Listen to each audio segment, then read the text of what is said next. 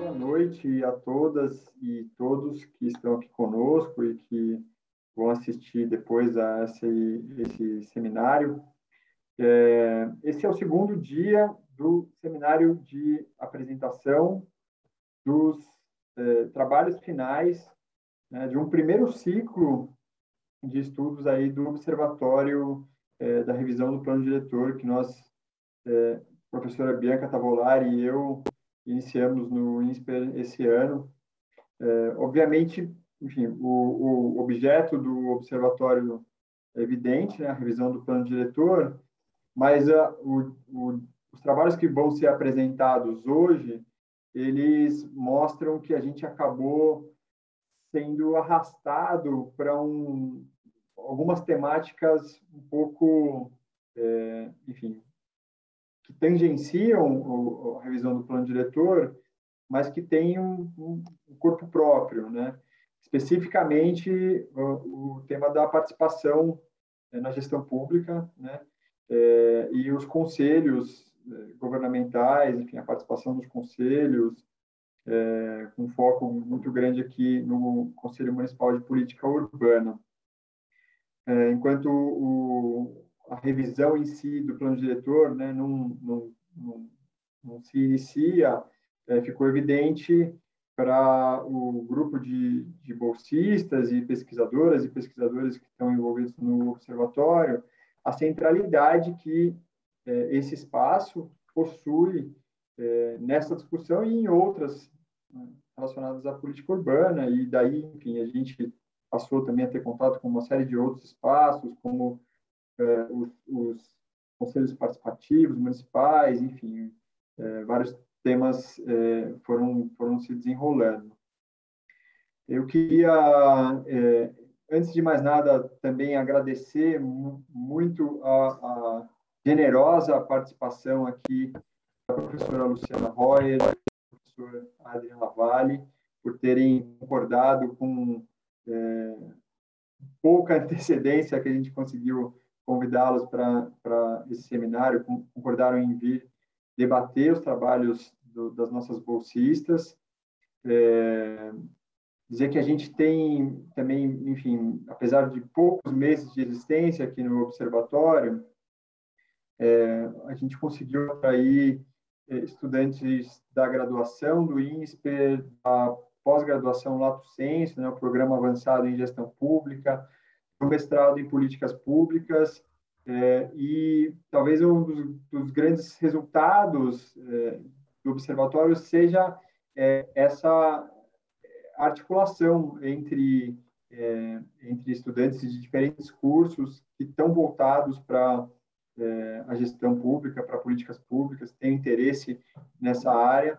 Então a gente, enfim, acredito que fala aqui também pela professora Bianca, que depois é, vai, vai complementar com muito mais propriedade do que eu, mas acredito que é, uma grande alegria nossa é ter promovido um pouco esse espaço, é, mas sabemos que os trabalhos que, que, vão ser aqui apresentados são trabalhos em desenvolvimento, né?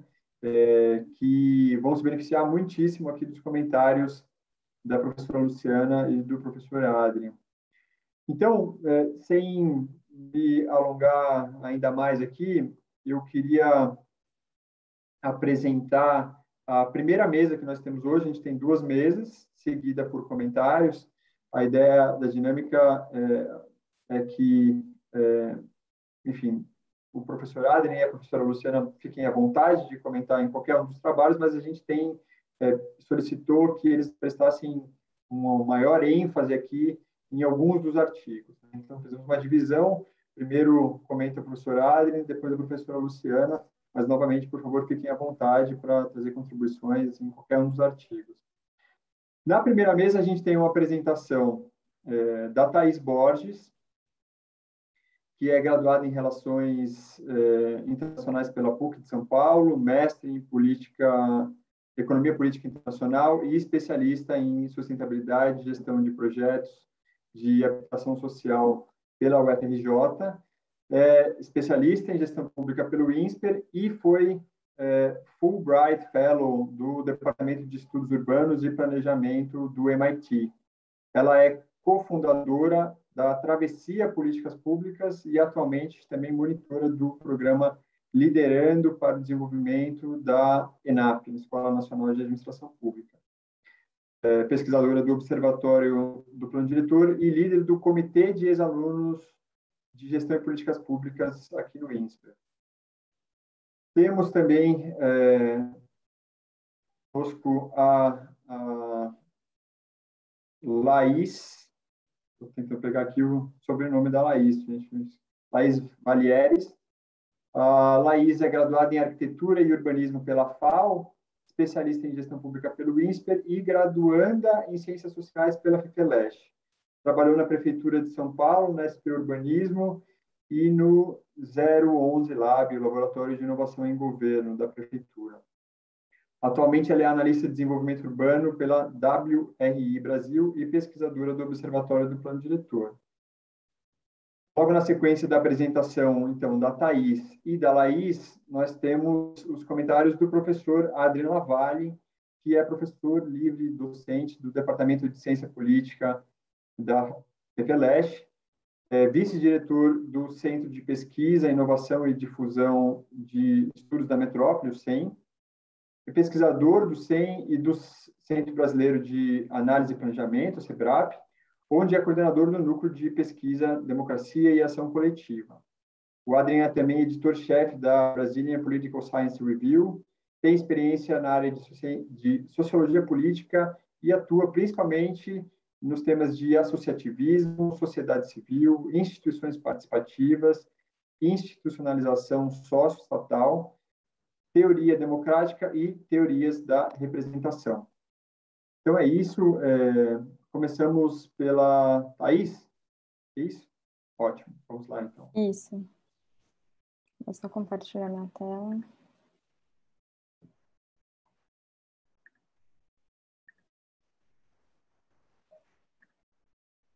Estão vendo por aí? Me deem um okzinho. Sim. Sim, estamos vendo.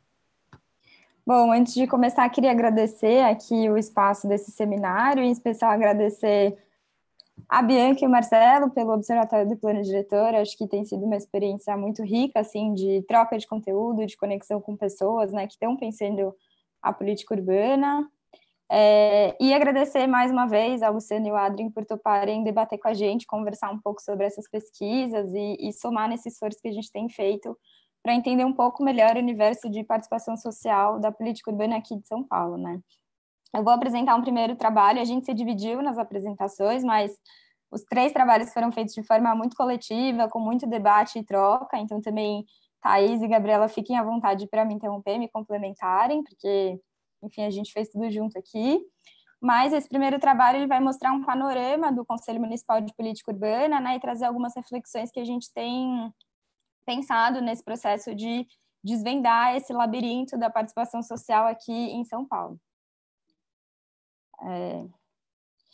Bom, o, esse, essa pesquisa, né, ela nasce junto com o laboratório, né, com, com o Observatório do Plano Diretor, né, e esse processo de revisão que tem acontecido, né, com uma preocupação de entender como se daria a participação social nesse processo tão nebuloso e tumultuado durante a pandemia, né, de forma remota. É, e aí, nesse contexto, uma das principais instâncias de participação que a gente vai olhar é o Conselho Municipal de Política Urbana, né? Porque ele é quase como uma antessala do processo de participação de revisão do plano diretor, né? Ainda quando as coisas não estavam no ar, quando a prefeitura ainda não tinha soltado a metodologia, as instâncias participativas, né? Como ela estava pensando em fazer esse processo, o CMPU funciona como essa instância que vai, junto com o poder público, dialogar sobre como isso seria feito. Então, a gente começou a acompanhar as reuniões, né, como elas estavam se dando de maneira online, a gente começou a acompanhar e ver. E aí, as principais perguntas que surgiram é, tá, mas quem que participa dessa instância, né? Quem que tá decidir, quem que vai decidir sobre esse processo, como ela se organiza? E a gente foi vendo que tem muito poucas informações sistematizadas, né, e claras disponíveis sobre o CMPU. Então, a gente começou, através desse, desse, desse momento, né, ir atrás dessas informações. Então, o objetivo desse trabalho que eu vou apresentar, que vai ser uma base né, para os próximos também, é entender um pouco né, como essa dinâmica, detalhar essa dinâmica de representação da sociedade civil nesse conselho, e entender como essa representação vem acontecendo ao longo dos anos, né, e quais os impactos na governança e na legitimidade do conselho, principalmente olhando, né, para o atual processo de revisão do plano diretor, mas a gente viu que os aprendizados vão extrapolar, né, para participação em geral é, no poder público. Que, que a gente fez na né, nossa metodologia? A gente primeiro partiu de uma revisão bibliográfica sobre participação em política pública, conselhos de política pública, entendendo né, quais são os arranjos, os principais conceitos, o que, que já estava posto e estudado sobre o tema. E a gente fez um levantamento e uma sistematização das nomeações das portarias de nomeação do CMPU, né, desde a sua fundação, que é de 2003 até o momento atual, 2021. A gente encontrou 96 portarias, e nesse momento já foi um grande desafio, né? Elas não estão concentradas no mesmo lugar, a publicidade dessas portarias não é tão fácil assim, né? A gente fez um levantamento e avaliação das atas de reunião do conselho também nesse período, para entender como essas reuniões são sistematizadas, o que, que é decidido, qual que é a dinâmica de pauta que acontece, e como é registrado e publicizado para a população em geral, né? E a gente também foi acompanhando as reuniões online do conselho, Além disso, a gente também foi olhar os normativos que vão orientar o funcionamento né, desse conselho. A gente se deparou com 14 normativos. Só para ilustrar um pouco o que, que foi esse levantamento e sistematização de dados. Né? Então, foi realmente entrar portaria por portaria, normativo por normativo, e aí nas portarias olhar, né, entrar, quem que entra, quem que sai, né, quem que está sendo designado, desligado naquela portaria, por ano, por segmento, e aí sistematizando esse processo, né, para a gente ter uma visão do todo.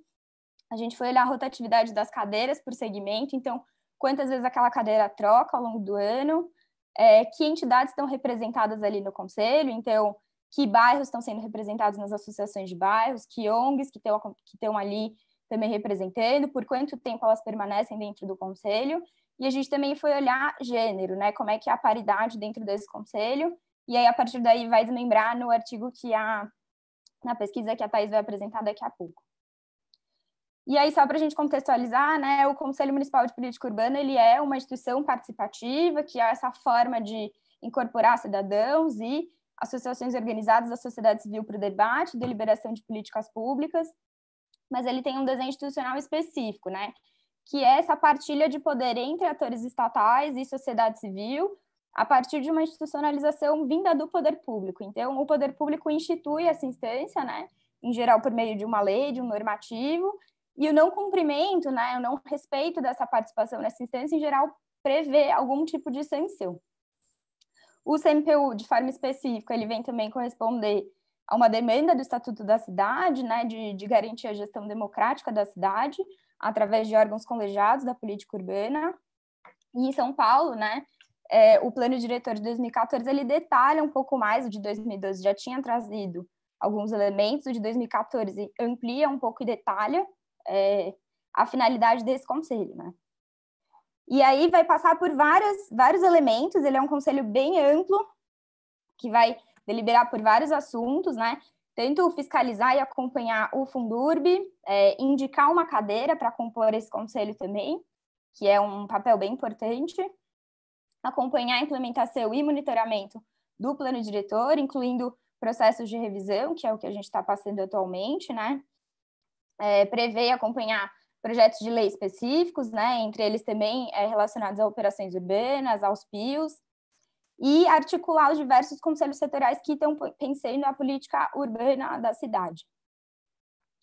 E aí aqui o histórico do conselho, né? Ele começa em 2002 instituído pelo plano diretor, mas ele, ele se dá a partir de 2003, né, a partir da sua resolução inicial, e ele começa a paritário, com 48 membros, né, 24 do poder público e 24 da sociedade civil de forma igualitária, e nesse momento com duas entradas diferentes para a sociedade civil. Então, oito representantes das macro-regiões eleitas e 16 é, cadeiras da sociedade civil que eram, na época, escolhidas pelas próprias entidades.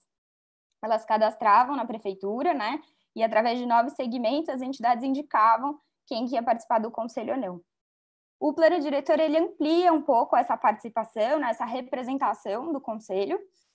Então ele amplia o número de cadeiras, passa a ser 60 cadeiras no conselho e ele dá um peso maior para a sociedade civil. Então passam a ser 26 cadeiras do poder público e 34 cadeiras da sociedade civil, né, com um peso muito maior.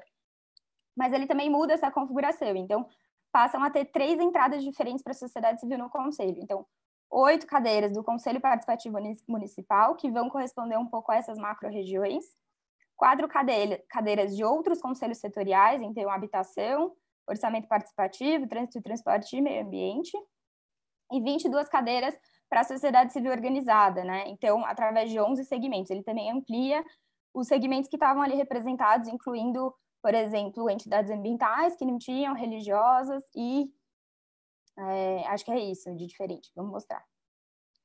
É, dos 34 membros da sociedade civil, entretanto, quando a gente vê né, essa ampliação da representação, a gente vai ver na prática, quando a gente for olhar as portarias de nomeação, sistematizar essa informação, a gente vê que na prática é, ela acontece de forma um pouco diferente, né? Então, no primeiro biênio, que passa a valer essa nova configuração do conselho, né, de 2015 a 2017, a gente viu que duas cadeiras ficaram vazias, de movimentos culturais e ambientais, e no fim desse mandato, o Conselho de Orçamento Participativo foi extinto.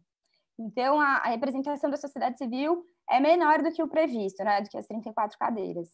No mandato seguinte, isso se intensifica. Então, é, das 34 cadeiras, né, três cadeiras da sociedade civil também não vão ser preenchidas nesse mandato, e a gente também não encontrou indicações de outros conselhos, né, como trânsito e transporte e é, meio ambiente. Então, a gente pode dizer que aproximadamente 28 cadeiras não foram ocupadas. No biênio atual, né, no mandato atual de 2019 a 2021, foi ainda maior. A gente viu que algumas cadeiras, como associações de bairros que estavam sendo representadas, não foram ocupadas nesse, nesse mandato. É, entidades da academia também, movimentos ambientalistas também tiveram dificuldade para ocupar essas cadeiras. E a gente também teve um problema na indicação dos conselhos participativos municipais, né? Eles tiveram um atraso na indicação e só em 2021, ou seja, no fim do mandato, eles foram indicados. Então, a maior parte desse biênio, desse período de funcionamento do CMPU, é, ele funcionou com 16 cadeiras ocupadas, então uma subrepresentação muito grande. É, em resumo, né, quando a gente vê, mesmo que o plano diretor tenha trazido um desenho institucional que tenha favorecido a sociedade civil, a representação da sociedade civil, em nenhum momento até agora as 34 vagas foram ocupadas, né? O, a resolução que, que rege o conselho, ela permite que ele funcione com menos cadeiras da sociedade civil né, ocupadas, com algumas cadeiras vagas, mas respeitando pelo menos a paridade entre poder público e sociedade civil, que seriam 26, 26. Mas isso não acontece, né? E aí, entre maio, né, até maio de 2021, só 16 cadeiras foram ocupadas. É, e a gente vê que das principais cadeiras, né, que tiveram mais dificuldade para serem ocupadas, foram movimentos sindicais trabalhistas, culturais, entidades religiosas e ambientais, né? Tiveram duas gestões sem representação, né? E aí, qual que é o impacto disso para discutir a política urbana da cidade? É, e aí a gente vê que tem uma disparidade muito grande, né, até agora, entre poder público e sociedade civil. De novo, as regras que orientam o conselho, é, elas, elas não permitem que a sociedade civil consiga preencher essas cadeiras ao longo do mandato. Então, em um biênio, se as cadeiras não foram preenchidas, só no próximo a sociedade civil pode preencher. Ao mesmo tempo que o poder público pode trocar diversas vezes, é, quantas vezes precisar, né, ir, ir mudando seus representantes.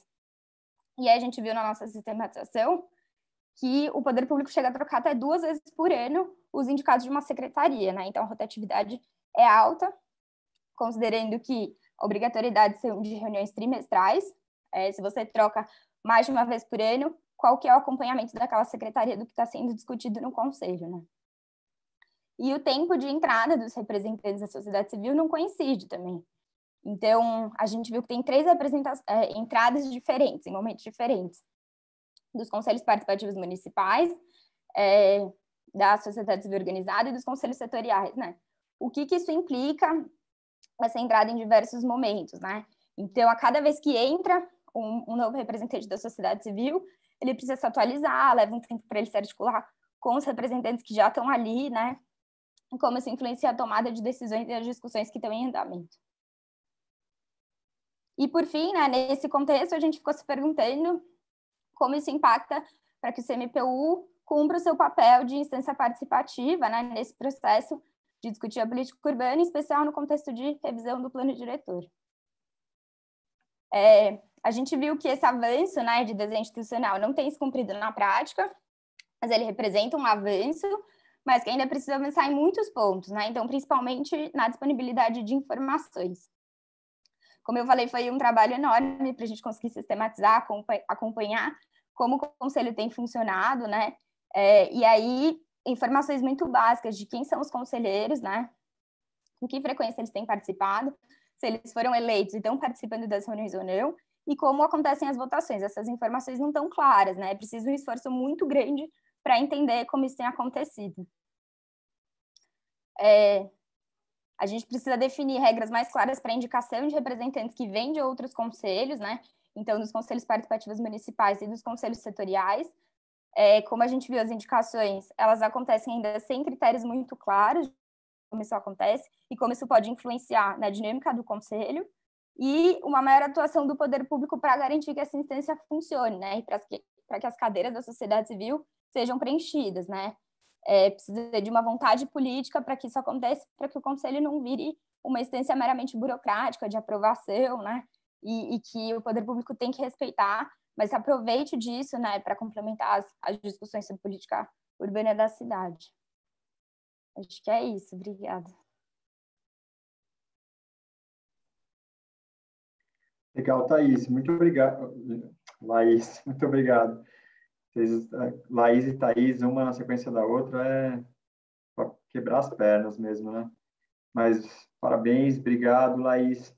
É, queria perguntar para o professor Adrian se ele prefere ouvir a apresentação da, da e, em seguida, debater os dois textos ou se ele apresenta agora comentários para a Laís e depois a gente ouvir a Thaís. Como você prefere, professor?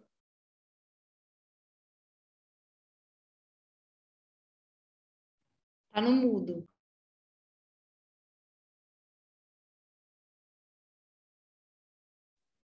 Desculpem, gente.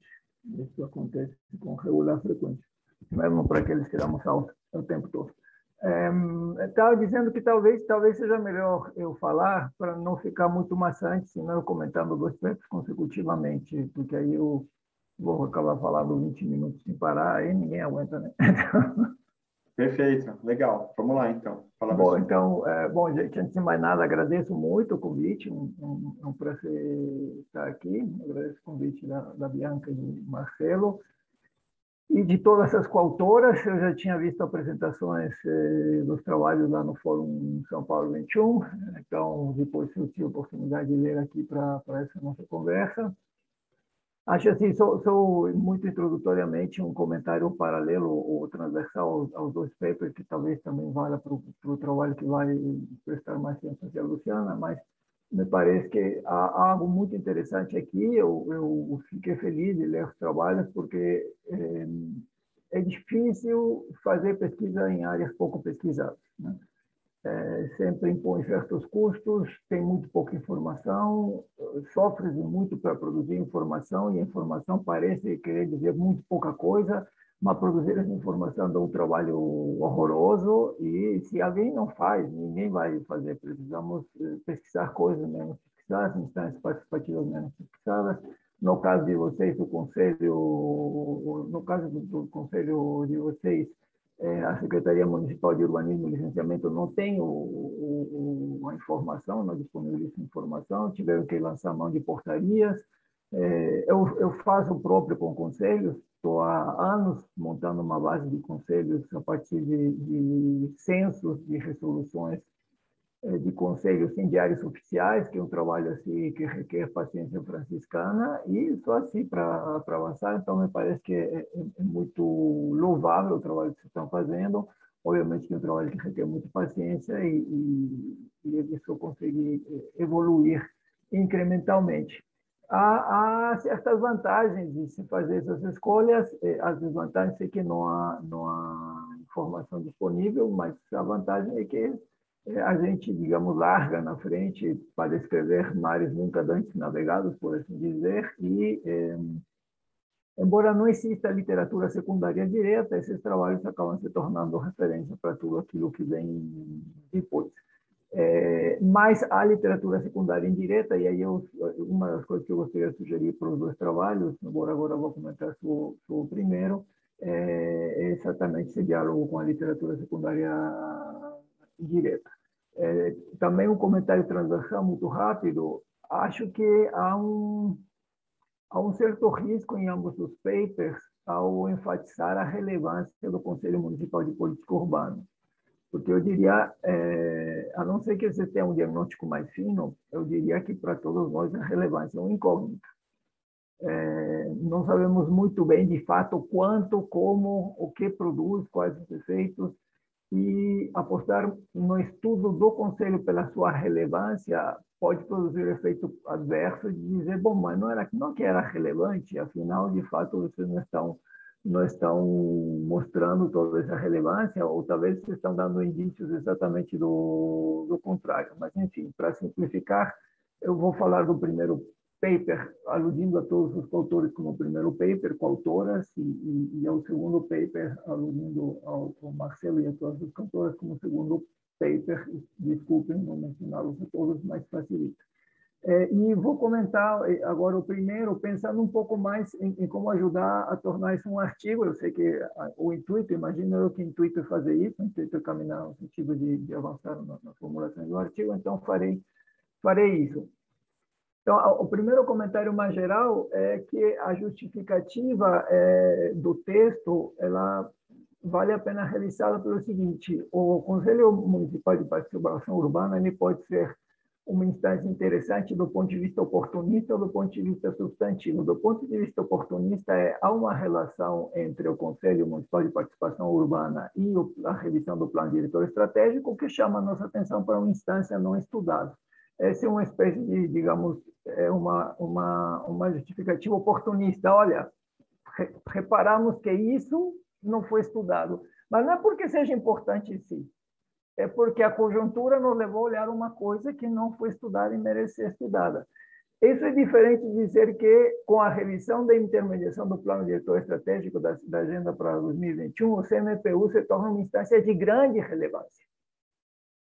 Porque se você diz que ele é uma grande relevância depois você coloca todos esses dados, você produz uma espécie de dissonância cognitiva. Não pode ser muito relevante com esses dados que você está mostrando. Então, é melhor fazer uma, uma, uma, um ajuste a esse respeito. Me parece que há ali uma justificativa oportunista na relação ao, ao, ao PDE, a revisão do PDE, é, e a nossa ignorância em relação ao conselho. Então, essa é a oportunidade, vamos tentar produzir conhecimento novo sobre uma coisa que nós conhecemos, mas isso leva a é, produzir um, talvez um, um, uma certa adequação. A segunda observação, também mais geral, de entrada, é que há, há pelo menos quatro grandes objetivos nesse texto, me parece que precisa reduzir. É, esses objetivos múltiplos, assim, lendo, eu revisei de novo, são pelo menos quatro por um lado, tem um que é como a representação da sociedade civil é, vem mudando, né? então, desde a secreção até os nossos dias atuais, então, é, é detalhar essa mudança na composição, esse é um tipo de propósito, digamos, essencialmente descritivo, embora a rigor nós não tenhamos a evolução dessa composição, nós tenhamos mais uma foto, tenhamos dois snapshots, porque pela forma como está construído o texto, nós temos dois snapshots, diferentemente do outro, do segundo paper. É, o segundo é como foi implementada essa mudança, como as mudanças de composição foram de fato implementadas ao longo do tempo. Normalmente não tem muito longo do tempo, mas tudo bem, como foram implementadas. Mas aqui a dúvida é o que é implementação porque toda a literatura de implementação diz para nós que a implementação é o processo de disputa e redefinição da política no processo de aplicação da política pelos agentes que, na hora que descem, digamos, aplicam o grau de discrecionalidade que eles têm em relação à política para mudar os objetivos da política ou ajustá-los. Aqui não é propriamente uma implementação. Então, não está se observando implementação, que, embora a gente observe, sim, digamos, as cifras, isso significa que tem algum problema aí no enforcement da lei ou na aplicação da lei, mas eu não diria que propriamente um, um, uma, uma precisão sobre sobre essa implementação e, portanto, tem que trazer reflexões sobre a implementação, talvez que esse segundo conjunto de objetivos eh, também não, não, não, diz, não está muito claro no, no trabalho. O terceiro, quando vocês mencionam impactos na governança e legitimidade do Conselho. Então, nós queremos entender os impactos na governança e na legitimidade do Conselho. É, há sim implicações em relação aos dados levantados sobre a legitimidade do Conselho, mas eles não são trabalhados é, nem são discutidos do ponto de vista da literatura substantiva, nem do ponto de vista da interpretação dos resultados. E lá no final vocês ainda é, apontam algumas outras possibilidades que vocês gostariam de, no final da introdução, de, de interpretar, que são, é, digamos, questões que estão no horizonte, que para vocês são objetivos no horizonte, que é avaliar a transparência e monitoramento, ou estamos caminho a pensar efetividade. É, então, gente, são quatro objetivos e as evidências elas são muito restritas. Então, quanto mais você abre os objetivos e essas evidências são mais limitadas, você cria um desbalanço. Então, eu sugeriria ajustar e talvez para ajustar, aí vocês poderiam fazer isso dialogando com a literatura é, mais próxima do, do conselho. Então, aí eu, eu vou fazer uma sugestão um pouco mais adiante do que me parece ser que talvez seja a contribuição mais interessante que vocês têm esse paper, que não me parece ser nenhum dos objetivos que estão aqui, mas eu chego lá. É, em relação com a literatura, eu diria o seguinte: vocês têm um debate interessante com a, com a literatura e democracia participativa, en passant, que conecta com conselhos, que conecta com CMPU. Né? Mas, a rigor, essas três coisas são distintas. Né? O debate de democracia participativa é um, é sobre é de natureza normativa, em boa medida, ele é fortemente orientado por todo o debate sobre deliberação e sobre os benefícios da deliberação do ponto de vista normativo e ou quando a gente vai para a literatura que, que abandonou a abordagem macro e vai para a literatura micro, sobre os processos micro específicos de deliberação. Mas vocês não podem observar os processos micro e seu texto também não é propriamente normativo. E eu diria essa literatura não é igual à literatura que trabalha conselhos. Ou, há um diálogo entre essas literaturas, mas elas não são idênticas, porque uma parte importantíssima da literatura que trabalha conselhos trabalha do ponto de vista do estudo dessas instituições participativas na sua caracterização e operação menos preocupados do ponto de vista mais das suas implicações para a democracia participativa e muito mais interessados em entender quais são os efeitos dessas instituições na operação regular das políticas públicas em que elas intervêm. Não que isso não tenha implicações para a democracia, porque tem, digamos, a democratização do Estado, mas o diálogo não é com, com a literatura de democracia participativa, essa conexão é uma conexão que vem dos anos 90 e a literatura veio se modificando e veio se concentrando progressivamente mais em procurar entender a rigor o que essas instituições fazem. Então, quando nós olhamos para conselhos, aí me parece que vocês têm uma literatura bem farta que descreve essa, essas instâncias como, como instituições participativas. Essa literatura é muito mais de natureza descritiva e explicativa, que procura entender o papel das, dos conselhos nas políticas públicas. Então, o que, que eles estão, de fato, produzindo ou não? Que é uma entrada que me parece mais interessante para vocês, porque vocês dialogam com política urbana. Então, a questão é o que, que esse conselho está fazendo do ponto de vista da política urbana. Tudo isso contra o pano de fundo de uma compreensão, digamos, de uma sociedade que gostaríamos que fosse mais democrática, mas o diálogo substantivo não é com a literatura de democracia participativa, o diálogo é com a literatura que lida com conselhos e, e produção de políticas. E, e, essa literatura ensina muitas coisas para nós e vocês poderiam se apropriar dela. Ela ensina que conselhos eles se expandiram fortemente por mecanismos de indução federal, que sem processo de institucionalização sistemáticos esses conselhos têm enormes dificuldades para produzir qualquer coisa. Isso já está muito documentado. E isso dialoga muito com as coisas que vocês estão encontrando. É, então, aí eu sugeriria, inclusive, que vocês olhassem para, para é, análise de conselhos, a gente acaba de publicar um texto em 2021, é, a Ellen Guicheney, o, a Carla, a Carla Bezerra e eu, é, sobre é, regimes subnacionais, conselhos de regimes subnacionais, na Revista Brasileira de Ciências é, Sociais, que analisamos tipos de conselhos, e é um tipo específico de conselho que, que classifica os conselhos de desenvolvimento urbano, que são muito pouco eficazes por um conjunto de fatores que a gente analisa aí e que dialogaria bem com, com, com o CMPU. Mas a questão aqui que é relevante para vocês é que, embora vocês conectem CMPU por um, como é um conselho com a literatura de conselhos, o CMPU não é um conselho na forma como a literatura discute. Isso não está claro no seu texto. E não é um conselho na forma como a literatura discute, porque o CMP não é um conselho das, das áreas tradicionais de conselhos. É um conselho que tem outra história, que tem outra lógica. Digamos, o, o não responde ao que poderíamos chamar de modelo brasileiro participativo. O modelo brasileiro da participação corresponde a conferências, eh, conselhos gestores de políticas, e é ali que você tem 90% da literatura estudando participação no, no Brasil. Vocês estão pegando uma instância pouquíssimo estudada que se chama de conselho, mas essa, essa homonímia não é uma homologia. É preciso entender por que se chama de conselho e quais são as especificidades. Então, ao invés de vocês assumirem que isso é igual, eu diria que esse argumento deveria fazer o contrário, dizer esses são distintos, esses conselhos não são não são parte desse modelo e como não são parte desse modelo não foram estudados. Então, nós precisamos entender quais são as características e propriedades institucionais desse tipo de conselhos, que não são os conselhos que aparecem em 90% da, da literatura eles se difundem de uma outra forma, eles operam de uma outra forma, eles têm uma, uma natureza mista, não são setoriais, são por áreas temáticas combinadas com prioridades territoriais. Então, há ali uma caracterização que é outra. E isso é uma contribuição do seu trabalho, que ela some se você faz essa passagem rápida entre conselhos gerais, teoria da democracia participativa e CMPU, como se vocês estivessem mais ou menos falando a mesma coisa. Então, aí eu sugiro que vocês enfatizem a diferença e que vocês ofereçam para o leitor uma caracterização das peculiaridades desse conselho, que ele não tem sido sistematicamente estudado. É, há, há, toda uma literatura sobre a teoria da representação, que eu não vou entrar aqui, porque vou entrar no próximo paper, mas que vocês falam bastante de representação. Eu sugeriria a vocês tirarem isso, se vocês não vão dialogar sistematicamente com literatura de, de representação, e ao invés disso, sugiro que vocês trabalhem muito mais com a literatura que tem feito, feito, tem feito estudos sobre o modelo brasileiro é, de participação, que há muita e tem, tem estudos bastante sistemáticos, muito abrangentes.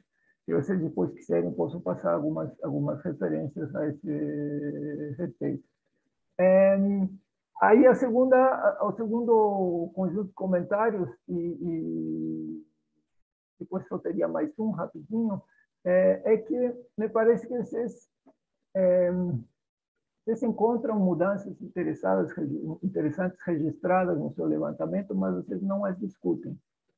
É, então, é, vocês documentam uma mudança da criação eh, do, CM, do, Conselho Participativo, Conselho Municipal de Participação eh, Urbana, vocês, eh, vocês registram a composição de política urbana, desculpe, participação urbana, de política urbana. Vocês registram a criação em 2002 das mudanças em relação às, às, às nossas introduzidas pelo Fernando Haddad. É, na, na versão de 2002, tal e como está, como foi instituído, ele tem oito macro-regiões, composição por oito macro-regiões, o que indica uma natureza territorial, que difere claramente dos conselhos setoriais.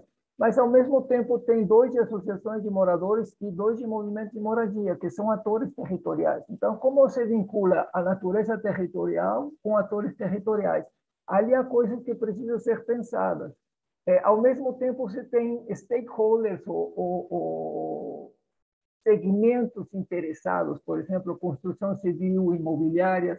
Então, essa discussão do modelo do conselho, que você pode inferir a partir da sua composição no modelo legal, é uma coisa que, que pode ser interpretada e ela daria, ela ajuda a entender o que, que, tá na, o que, que está na cabeça daqueles que criaram esse modelo, que tipo de, de conselho estão pensando está mais próximo do conselhão, ao estilo Conselho de Desenvolvimento Urbano do, do, Lula, do que dos conselhos gestores de políticas. Pela composição, você parece ter um conjunto de atores com agendas muito diversas, tentando produzir acordos. É, então, vale a pena discutir isso com calma e vale a pena discutir essa alteração de 2014. É, obviamente, a, a parte das macro-regiões foi substituída pelos, pelos conselhos participativos municipais, porque foram criados pelo Fernando Haddad, então aí ele encontrou uma forma de fazer isso. há um, há um diagnóstico da importância da intersetorialidade, da conexão entre conselhos, que não está presente no começo dos anos 2000 e que já se tornou óbvio é, ao longo dos processos de participação e que animou, por exemplo, a Política Nacional de Participação, que está presente aqui, que precisamos trazer a representação dos outros conselhos para esse conselho para permitir que essas coisas falem. Então, aí é uma mudança de como está sendo pensado o conselho.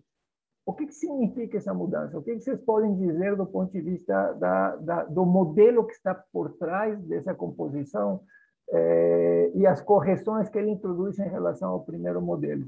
E isso seria fazer um trabalho um trabalho interessante do ponto de vista da caracterização do modelo que me parece que vocês podem podem fazer.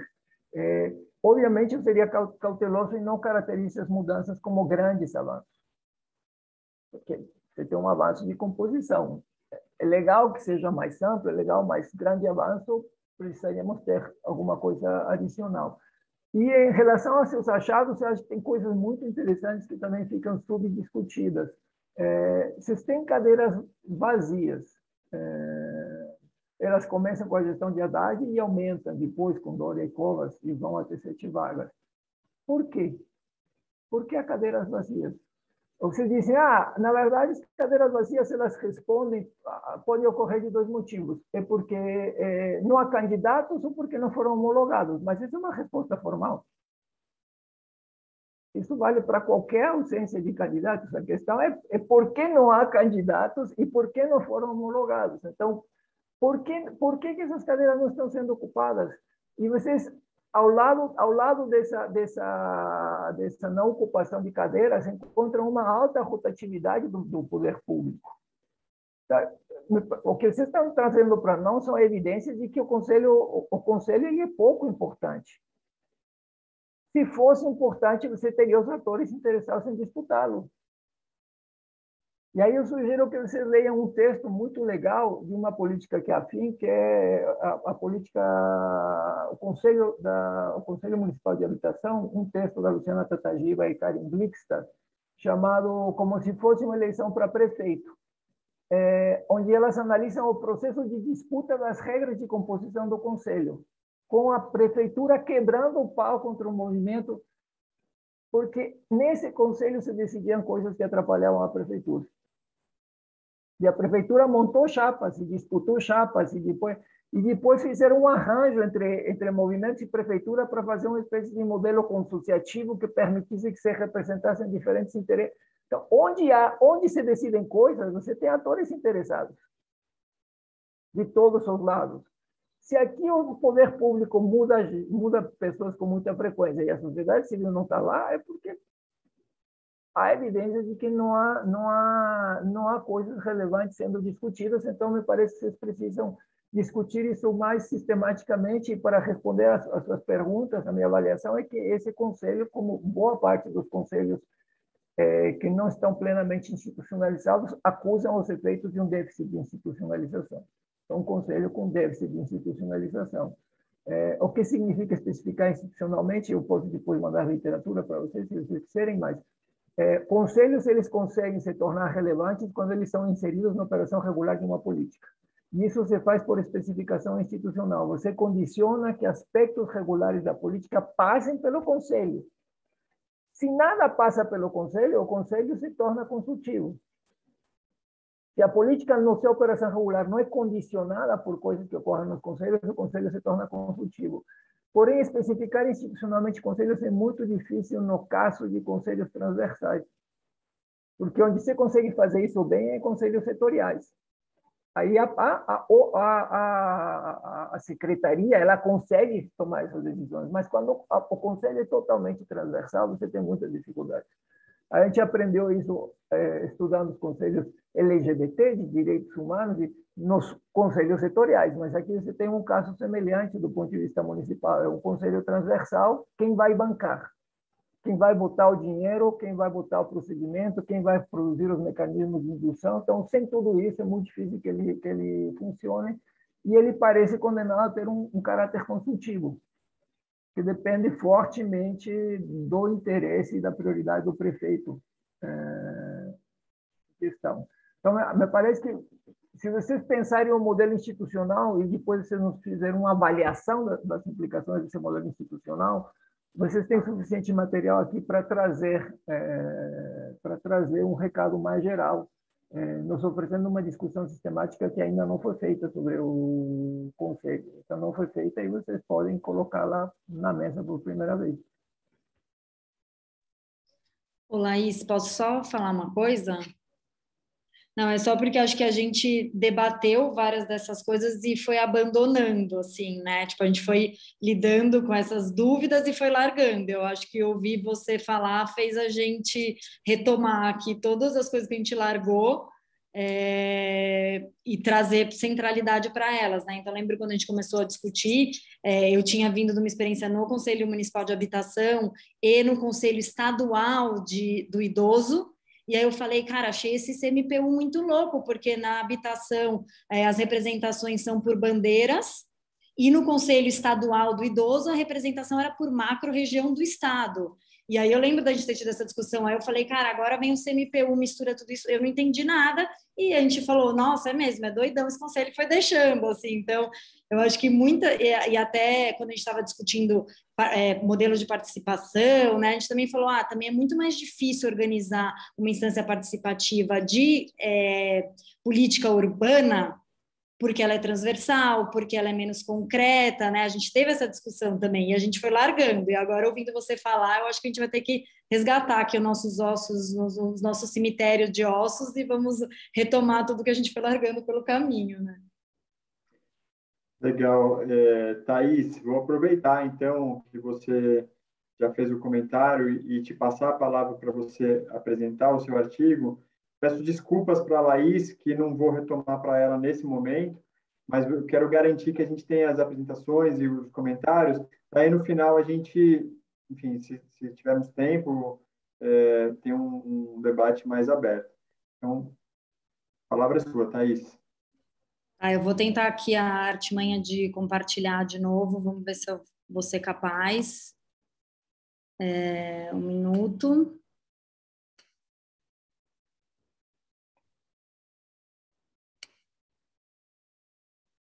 Vocês estão conseguindo ver?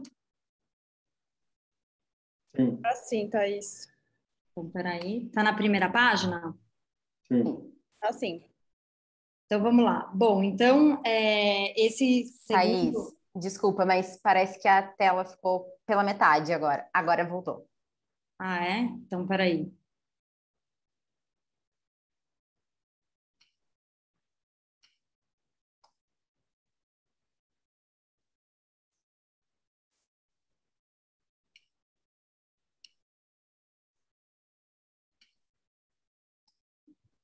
E agora, tá certo ou não? Tá tudo bem. Agora a gente está vendo a página inicial da apresentação. Tá bom. É, então, vamos lá. É, então, primeiro, agradecer. Eu já comecei fazendo pergunta, agora estou voltando, regredindo. Vamos lá, começar de novo. É, então, esse segundo trabalho que eu vou apresentar, ele, eu estou representando aqui outros cinco autores também, e eu acho que eu fui muito mais barriga de aluguel aqui, porque por uma divisão de tarefas, eu acabei pegando mais esse artigo, mas foram é, provocações que surgiram muito mais da Bianca, da Laís e da Gabi do que minhas, mas estamos aqui. Então, é, a gente vai falar aqui sobre paridade de gênero no Conselho Municipal de Política Urbana, né?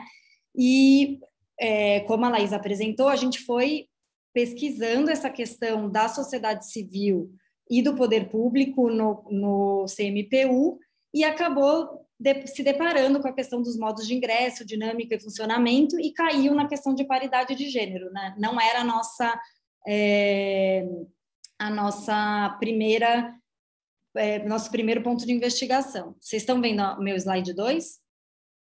Sim.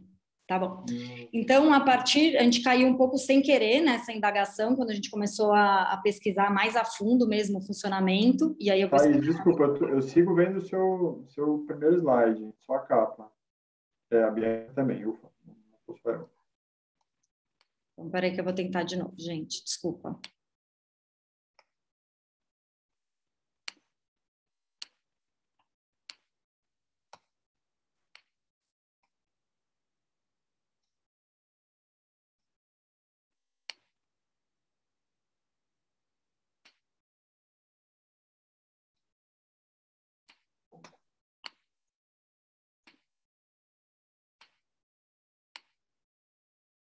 Agora foi?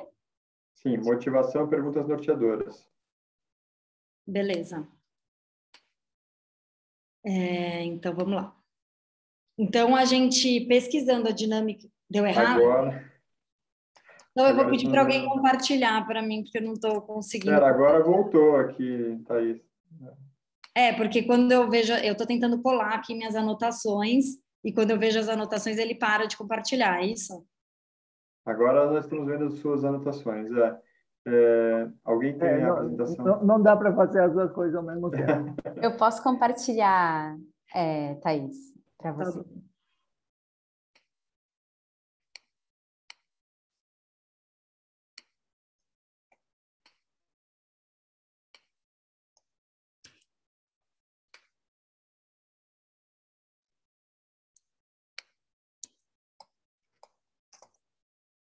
Estão conseguindo ver a minha tela? Sim. Obrigada. Então, voltando, né? A... Então, a gente vendo a, como funcionava o CMPU, a gente começou a se deparar com as questões de paridade de gênero e começou a se perguntar, né, como que tem sido a representação das mulheres no conselho desde que ele foi criado. É, a lei de paridade de gênero foi criada em 2013, né? Então a gente começou a querer investigar se é, essa lei tinha impactado né, a representação de mulheres e como ela estava sendo aplicada no Conselho. É, então, é, a gente analisou né, o processo de eleição e escolha de representantes da sociedade civil, leu 96 portarias, né, e aí acho que cai muito no que a Laís e o Adrian já comentaram, que é um trabalho mesmo de formiguinha, e a gente identificou o gênero, como não tinha é, informação, a gente identificou é, pelo nome da, da, de cada representante, né? E isso tem uma limitação, e até, inclusive, a lei fala que deveria ser considerada a identidade de gênero autodeclarada, independente de, independentemente de constar em documento ou registro público, e não é, foi isso que foi feito, né? A gente foi inferindo pelos nomes. Pode passar. É, bom, então, o que, que diz a lei de paridade de gênero? A primeira coisa a dizer, ela é de 2013, ela foi regulamentada em 2014 e 2015 por dois decretos e começou a ser implementada em 2015. Para a lei, e aí acho que o Adriano acabou de também questionar isso, né? A lei considera Conselho de Controle Social todo órgão colegiado municipal que não seja composto majoritariamente por representantes do poder público. E a gente está entendendo que o CMPU se encaixa nisso. E o que, que a lei fala? Que 50% do total de cadeiras titulares e 50% de suplentes devem ser ocupadas por mulheres. Também deve ser contabilizado separadamente poder público e sociedade civil, ou seja, metade das mulheres e metade das mulheres do poder público, metade das mulheres, metade das cadeiras do, da sociedade civil devem ser ocupadas por mulheres. E é, quando a eleição da sociedade civil for realizada por segmento, também cada segmento deve ter o um mínimo de 50% de mulheres. E no caso de segmento que só tem uma posição, se o titular for homem, a suplente deve ser uma mulher. Então, vamos lá, a gente está entendendo que o CMPU se encaixa nisso daí, né? Então, pode passar para a próxima. Só lembrando que a Laís já apresentou, a partir de 2014, o CMPU passa a ter 60 cadeiras, 26 do poder público que são indicados e que podem ser nomeados e empossados a qualquer momento, e 34 da sociedade civil, em três grandes blocos, né? representantes eleitos por voto direto, agrupados em 11 segmentos, é, oito representantes dos CPMs, dos Conselhos Participativos Municipais, um de cada região, e quatro representantes dos, representantes dos conselhos setoriais. E aí, lembrando essa disparidade de poder, do poder público poder nomear, poder nomear em cada, a cada momento, enquanto a sociedade civil só pode nos momentos de eleição. Pode passar.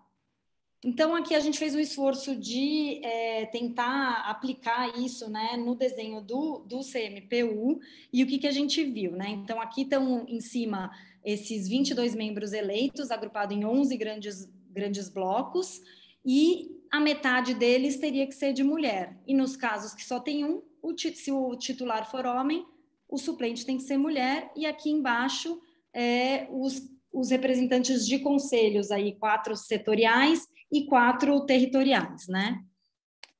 E o que, que a gente viu, então? Pode passar. É, nesses é, 15, é, nesses anos, 17 anos, 18 anos que a gente avaliou, a gente primeiro fez o recorte só de mulheres, só de titulares, né? Então, é, de 2003 até 2014, a média de mulheres foi de 33%, e a partir de 2015 foi subindo, mas só em 2019, ou seja, quatro anos depois que a lei passou a ser implementada, é que se atingiu o percentual de 50% de mulheres, é, até que esse ano foi mais alta, tendo 57%, né? É, o que, que a gente observa? Uma dificuldade, principalmente da sociedade civil, em atingir é, o percentual entre 2015 e 2017, e aí tanto da sociedade civil eleita diretamente pela população, quanto os indicados pelos CPMs, pelos conselhos participativos, municipais, e o poder público, que tem essa prerrogativa de indicar, também só atinge os 50% dois anos depois da implementação da lei, em 2017. E aqui a gente é, não contabilizou os conselhos setoriais, porque a gente não achou informação. Pode passar. Aí a gente resolveu fazer análise das suplentes. E aí essa, é, para quem viu a, no fórum, é a novidade, que a gente ainda não tinha avaliado isso quando a gente apresentou no fórum, né? O que, que é que é interessante a gente observar? Que em 2017, que foi aquele ano que teve grande dificuldade em atingir o percentual mínimo de mulheres entre representantes titulares é, da sociedade civil eleitas por voto direto, no caso das suplentes, foi o maior percentual, suplentes da sociedade civil atingiu 72% de mulheres, né, sendo inclusive o maior da série histórica. E aí essa diferença chamou nossa atenção e fez a gente pensar, né, é, as mulheres estão nas instâncias formais de discussão, né, sobre a política urbana, mas aparentemente elas estão enfrentando dificuldade em ocupar posição de voz e destaque devido a várias barreiras eleitorais e institucionais. E aí aqui é importante lembrar que pela, pela regra do CMPU só tem é, poder de voto, né, o titular ou a titular, mas caso a pessoa não esteja na, na votação, é, a, a suplente pode votar pela titular, mas o poder de voto é da titular. Então, a gente viu essa diferença entre titular e suplente, né? E aí, é, eu vou pedir para vocês darem uma olhada, né, aqui né, nos, nos, no gráfico, o, as, é, as vermelhinhas, vermelho escuro, que são é, os representantes dos CPMs, né, dos Conselhos Participativos Municipais, que, como vocês podem ver aqui, está bem baixinho. Aí a gente falou, bom, vamos olhar aqui o que está acontecendo nos, nos CPMs. Pode passar. Então, quando a gente foi olhar especificamente para o CPM, a gente viu um embrólio aqui, e até um embrólio que eu sempre me embanando para falar, se eu me atrapalhar, é, Gabi e Bianca me ajudem aqui, que o que, que aconteceu? Em fevereiro de 2020, é, a SMU, a Secretaria de, de, Licenciamento, que na época inclusive tinha outro nome, pede à Secretaria de Relações é, Sociais a indicação dos oito CPMs, respeita, lembrando né, da, do respeito à paridade de gênero.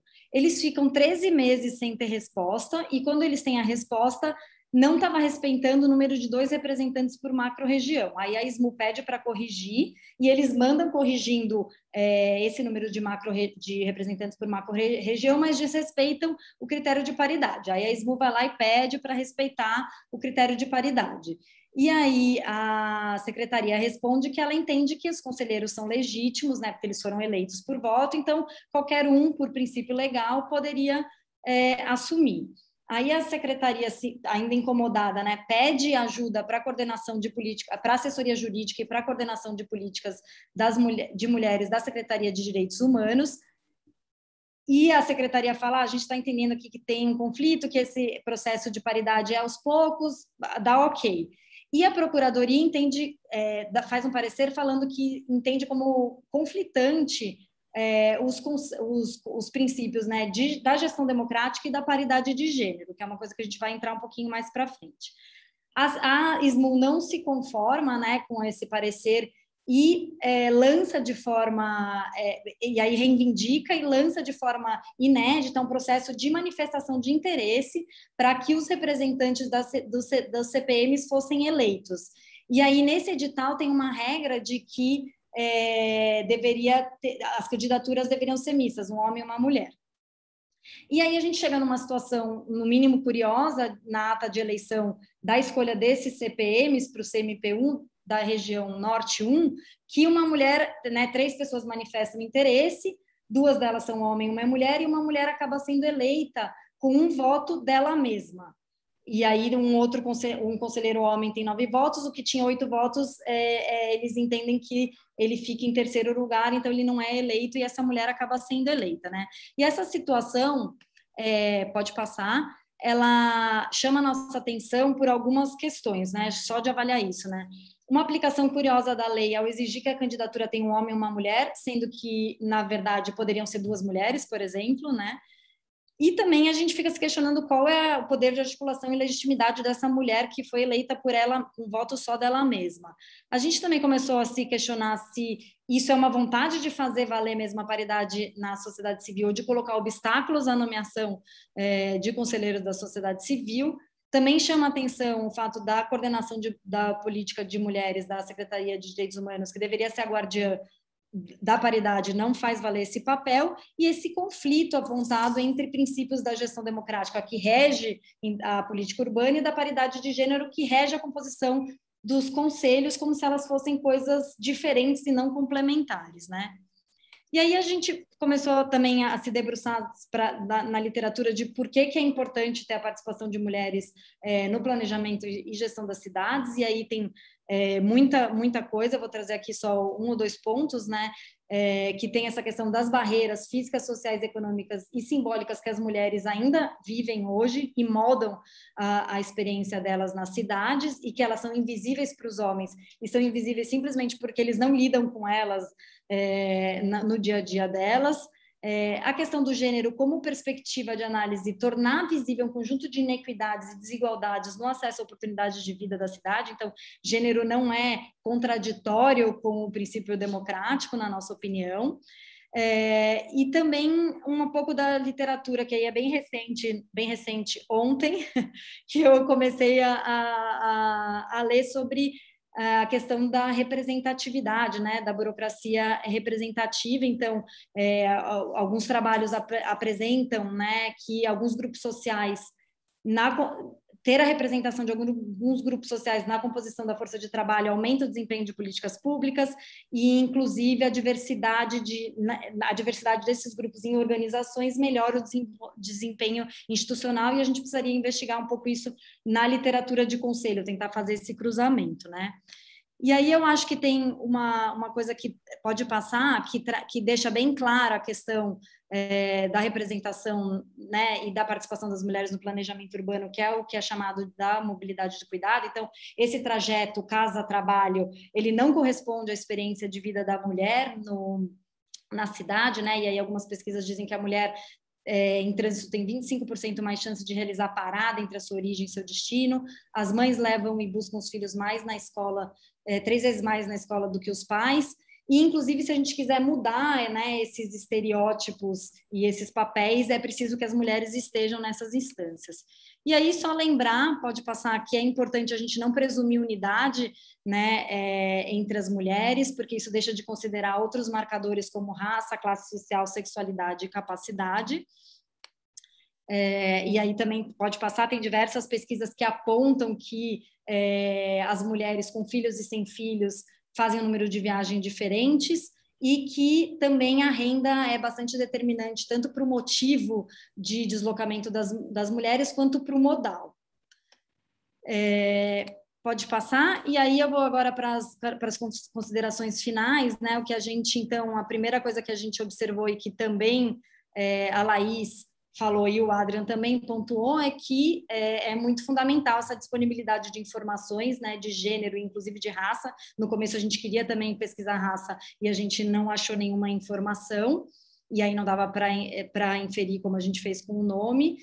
E isso é muito importante para a gente ver quanto de fato essas instâncias são representativas. Também a gente vê que tem uma dificuldade muito grande em fazer valer essa paridade num conselho que, como o Adrian falou, tem, é, ele não é um conselho típico, né? E ele tem formas e datas de entrada distintas e diferentes representações. É, chamou nossa atenção muito essa diferença entre é, mulheres titula titulares e suplentes da sociedade civil. E fica claro né, que a lei de paridade de gênero é um início, mas junto com ela é preciso que o poder público garanta que as mulheres tenham condições de se candidatarem e cumprirem os seus mandatos com legitimidade. E aí, lembrando aqui né, dos limites da, dessa pesquisa, a gente analisou a representação das mulheres só com base no, no, no, no gênero, através do nome, né? A gente não sabe como de fato as pessoas se identificam. É, e a gente, até a gente no começo tinha usado muita palavra representatividade, a gente foi lá e fez uma limpa, porque a gente não está aqui avaliando representatividade, a gente só avaliou o número de mulheres, então a gente não sabe o quanto de fato elas estão levando pautas e votando de acordo com o grupo que elas representam, e também a gente não está avaliando se está considerando marcadores sociais como cor, renda, identidade, gênero e orientação sexual, porque a gente não é, não avaliou essas questões, né? Então, acho que é isso. É, agradeço e passo a palavra aí para o Marcelo. Obrigado, Thaís. De imediato, também peço para o Adrian, é, professor Adrian Lavalle, fazer os comentários sobre esse artigo. Um, agora está tá, no, no silêncio, então, então vamos lá. É, bom, gente, obrigado também é, por me dar a oportunidade de, de comentar esse artigo.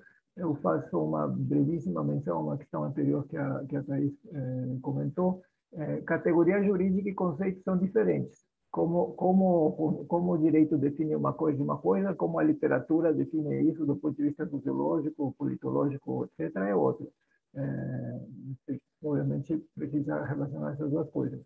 Mas, e, e, talvez, talvez aí isso é uma coisa que se de comentar, vale a pena entrevistar conselheiros, vocês identificaram alguns conselheiros setoriais, vale a pena entrevistar para entender o que, que está acontecendo e por que, que eles não vão lá. Essa seria uma informação qualitativa para avaliar o modelo. É, então, vamos lá com a paridade de gênero no Conselho Municipal de Política Urbana.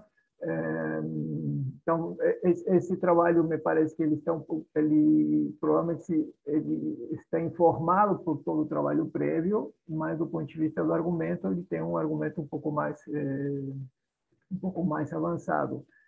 É, uma primeira observação geral é que me parece que o objetivo ele está formulado de modo que não faz jus aquilo que eh, tem de mais substantivo, tanto no debate com a literatura quanto eh, no conteúdo do trabalho.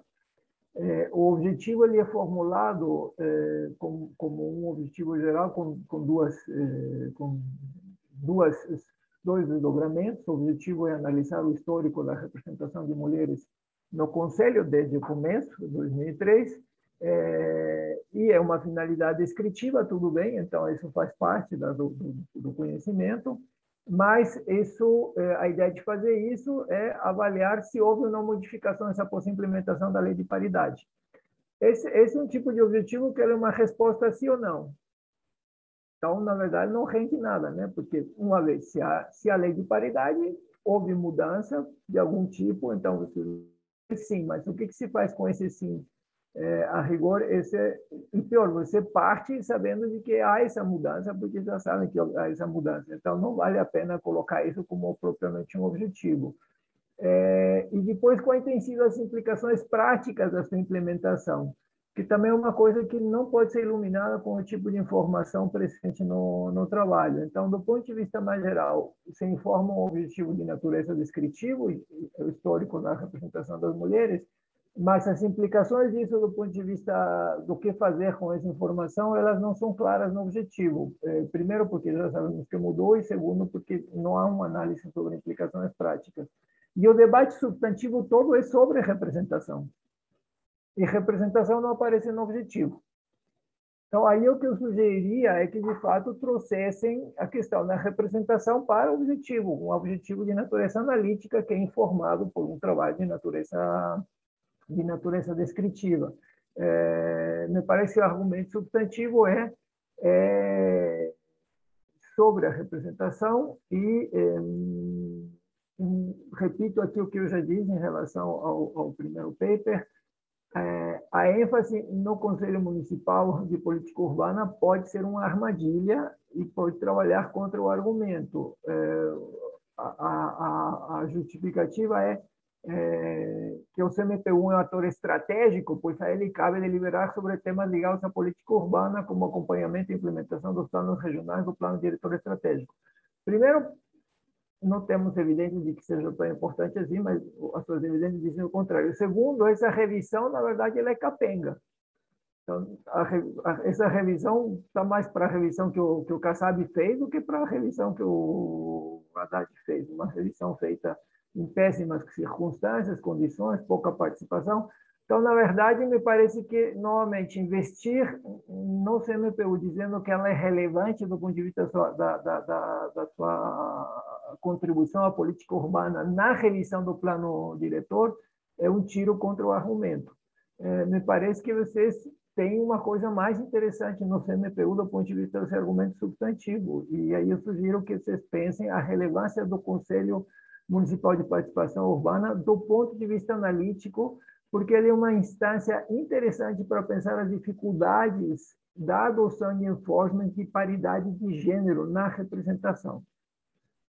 Porque é isso que vocês estão fazendo, de fato. E, e, eu diria isso por motivo, esse é uma instância bem interessante para pensar isso por motivos que vão ficar claros, mas antecipo, é, esse tipo de argumento tem sido feito basicamente por estudos que olham para o legislativo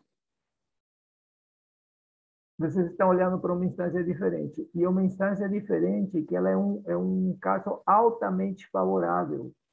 E é como se vocês pudessem dizer, olha, o que acontece quando você tem um caso altamente favorável em que política de gênero, de, de, de paridade pode ser implementada? Tudo aquilo que a literatura de representação disse para nós, opera ou não opera? E vocês encontram que opera de alguma forma opera. Então, ali vocês têm um argumento original, é de natureza analítica e dialoga melhor com suas evidências.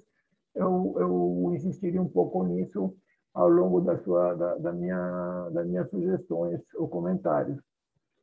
Em relação, então, esse é um primeiro comentário geral sobre sobre o seu objetivo é, e a forma como vocês o, o, apresentam, o enquadramento. O segundo comentário geral é, diz respeito à sua relação com a teoria. Primeiro, uma, uma, uma, observação de natureza mais conceitual. É, obviamente, vocês estão começando a lidar com a literatura, então, para vocês, talvez certas distinções ainda não são claras, mas representatividade e representativo são coisas muito distintas do ponto de vista das teorias da, da representação. É, e vocês, é, com alguma, por menos três ou quatro vezes, vocês dizem estar lidando com a representatividade de gênero é, vocês não estão lidando com a representatividade de gênero, você está lidando com representação de gênero, especificamente na política de, de, de planejamento urbano. Então, é, para, para, para toda a teoria, digamos, mais, mais sofisticada de representação, e é um campo muito amplo, que cresceu muitíssimo nos últimos 20 anos, é, há uma diferença entre ser representativo e representatividade. É, representatividade diz, remete àquilo que se chama de dimensão substantiva da representação. Então, é, dimensão substantiva da representação quer dizer se os interesses, é, opiniões, é, valores daqueles que são representados, daqueles que deveriam ser representados, estão realmente sendo representados. Então, tem a ver com a dimensão substantiva da substância da representação. E por isso remete à ideia de, de legitimidade é, e essa legitimidade de natureza substantiva. Você pode ter representação sem que ela seja, sem que ela, sem que ela tenha representatividade. E você pode ter representação representativa sem que ela tenha representatividade, porque você pode ter representação formal pelo processo, representativa porque ela compõe um determinado segmento da população, então você dá entrada, por exemplo, às mulheres, mas ela não corresponde com os interesses substantivos das mulheres. Então, essa parte dos interesses substantivos das mulheres remete à ideia de legitimidade e é isso que está claramente colocado na ideia de representação, de representatividade. E representatividade nas teorias da representação remete à legitimidade. Pensem isso assim numa coisa mais mais mais aterrissada, é, no caso dos mini públicos. Nos mini públicos, o cidadão é um cidadão representativo. Não é que ele tenha representatividade ele é um cidadão representativo, no sentido que ele é um cidadão que, do ponto de vista descritivo, é igual ao cidadão médio. Mas isso não resolve a representatividade no domínio público, porque ainda é preciso você perguntar pela legitimidade daquilo que cidadãos representativos decidem. E a maior parte da literatura diz que você precisa lançar mão de estratégia de validação. Porque, embora cidadão representativo possamos assumir que tome decisões parecidas àquelas que tomariam cidadãos médios se todos eles se, se reunissem, é uma suposição. E isso não tem por que convencer a população. Você ainda precisa produzir esse consentimento. Então, essa é uma estratégia de validação e é essa estratégia de validação que lida com a questão da representatividade. Então, só para vocês evitarem esse ruído no seu argumento, e é, aí mais me parece que o que é mais importante para vocês me parece é que tem tem uma literatura muito importante que trabalha com a questão que vocês estão colocando, que ela é muito anterior à literatura que vocês estão citando. Vocês estão citando o Kern de 2021 e vocês estão citando os, os, os Millennium Goals, mas a rigor a literatura feminista foi o primeiro, o campo da literatura feminista, da crítica feminista, foi o primeiro campo de crítica sistemática ao modelo liberal da representação. Isso é de começo dos anos 90. Então, as primeiras produções que começaram a contestar a nossa compreensão de representação são Anne Phillips, em 91, Engendering Democracy, Anne Phillips, em 93, Democracy and Difference, Anne Phillips, em 95, The Politics of Presence. Olha, todos estamos falando de coisas que têm mais de 30 anos. É, um livro primoroso da Melissa Williams, em 98, que é Voice, Trust and Memory, e tudo está... A, a, a, o grande deslocamento da literatura feminista para a representação, ela é dada nas áreas da teoria da representação e ela é, ela é já um movimento plenamente consolidado, já adaptado, etc. Eu sugiro que vocês, que vocês eh, resgatem um pouco isso pelo seguinte, porque nessa, nessa, nessa literatura há alguns algumas proposições razoavelmente consolidadas que dialogam muito bem com aquilo que vocês estão encontrando. Primeiro que é, ter representação descritiva não resolve o problema da representação substantiva. Então, isso é uma coisa que vocês discutem mais ou menos. Segundo que é, ter mulheres no parlamento não significa que essas mulheres vão conseguir produzir coisas, porque é um conjunto de empecilhos a questão de gênero se repõe, as clivagens de gênero se repõem dentro do parlamento, como se repõe no processo eleitoral, como se... Então, essa literatura já mapeou todas as, as dificuldades que produzir representação de gênero eh, traz consigo, inclusive em contextos em que você tem legislações favoráveis. Então, por que, que as mulheres não são eleitas? Por que, quando são eleitas, não conseguem fazer coisas? Porque só para dar um exemplo, eles têm um argumento muito conhecido de massa crítica. Sem massa crítica, mulheres não conseguem fazer nada. Então, para você, esse argumento de 50%, ele parece mais um argumento formal. A lei diz 50%, a lei diz 50%. Não, mas esse argumento pode ser substantivo. A literatura diz para nós que você precisa um volume elevado de mulheres se você quer que isso faça a diferença do ponto de vista daquilo que as mulheres decidem.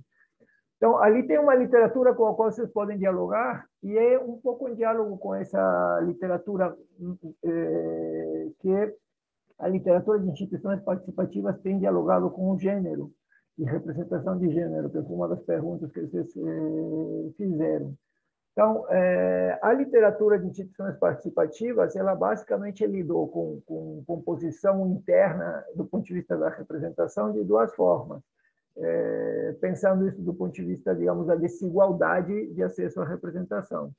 É, uma parte da literatura apontou que existia alguma coisa que elas chamaram de, de elitismo da participação, então esse é um diagnóstico importante da literatura, significa pessoas que vão nessas instâncias, elas não são iguais ao cidadão médio, elas tendem a ser mais escolarizadas, ter mais renda, ter mais então, há um processo de elitização da participação quando se supõe que essas instâncias deveriam acolher a participação do cidadão médio. Se supõe, porque, a rigor, se vocês olharem o desenho dessas instâncias, não é isso que está no desenho, mas tudo bem. Essa literatura diz teríamos que esperar que o cidadão médio estivesse aí e não está, logo temos um processo de elitização da participação. Esse é um caminho. Há um outro caminho que diz, no qual eu, eu me inscrevo, é, que diz, olha, depende contra quem você comparar. Se você achar que essas instâncias são instâncias de participação, talvez, mas se você achar que essas instâncias são instâncias de representação, e elas são instâncias de representação, você está comparando errado. Você tem que comparar com outras instâncias de representação, não com o cidadão médio. E se você compara com outras instâncias de representação, você tem que comparar com câmaras municipais, com, com, com, assembleias estaduais e com o Congresso Federal, e quando você faz isso, você vê que os conselhos são muito mais inclusivos. Tem muito mais mulher, tem muito. As, as divergências, são, as disparidades são muito menores. Então, do ponto de vista de uma instância representativa, ela tem uma composição muito mais igualitária, e isso está claro nos seus dados. É, para uma para uma instância que não tinha lei de paridade, é, a presença de mulheres, por exemplo, em 2003, que é de 40%, é uma coisa que e tem conselhos que têm presença majoritária de mulheres. A gente já sabe, a literatura já, já, já mostrou isso. Então, tem literatura de conselhos olhando para a representação. Depois eu posso mandar para vocês, se vocês quiserem. E acho que vocês conseguem dialogar melhor com essa literatura, mostrando como essa composição se comporta, qual a diferença entre, entre o que vocês estão encontrando e aquilo que foi encontrado em outros tipos de conselhos, assumindo que o conselho que vocês estudam é, é diferente, e, e, assim por diante. Mas o consenso, eu diria, quando se assume os óculos da representação e não os óculos da participação, é que conselhos são mais inclusivos em relação a outras instâncias em que se faz representação. Isso não significa que eles sejam, é, digamos, totalmente inclusivos do ponto de vista normativo. Do ponto de vista de gênero, ainda acusam sérios déficits de raça, etc. Então, ali, ali vocês poderiam é, dialogar bem com essa literatura, que tem, tem, tem uma produção razoável. É, depois posso mandar para vocês. E aí, o que eu sugiro, então, é que vocês pensem o CMPU. É, o que eu falar do seu objetivo, vocês dizem que eu quero descrever as mudanças mas as implicações de descrever as mudanças não estão formuladas analiticamente.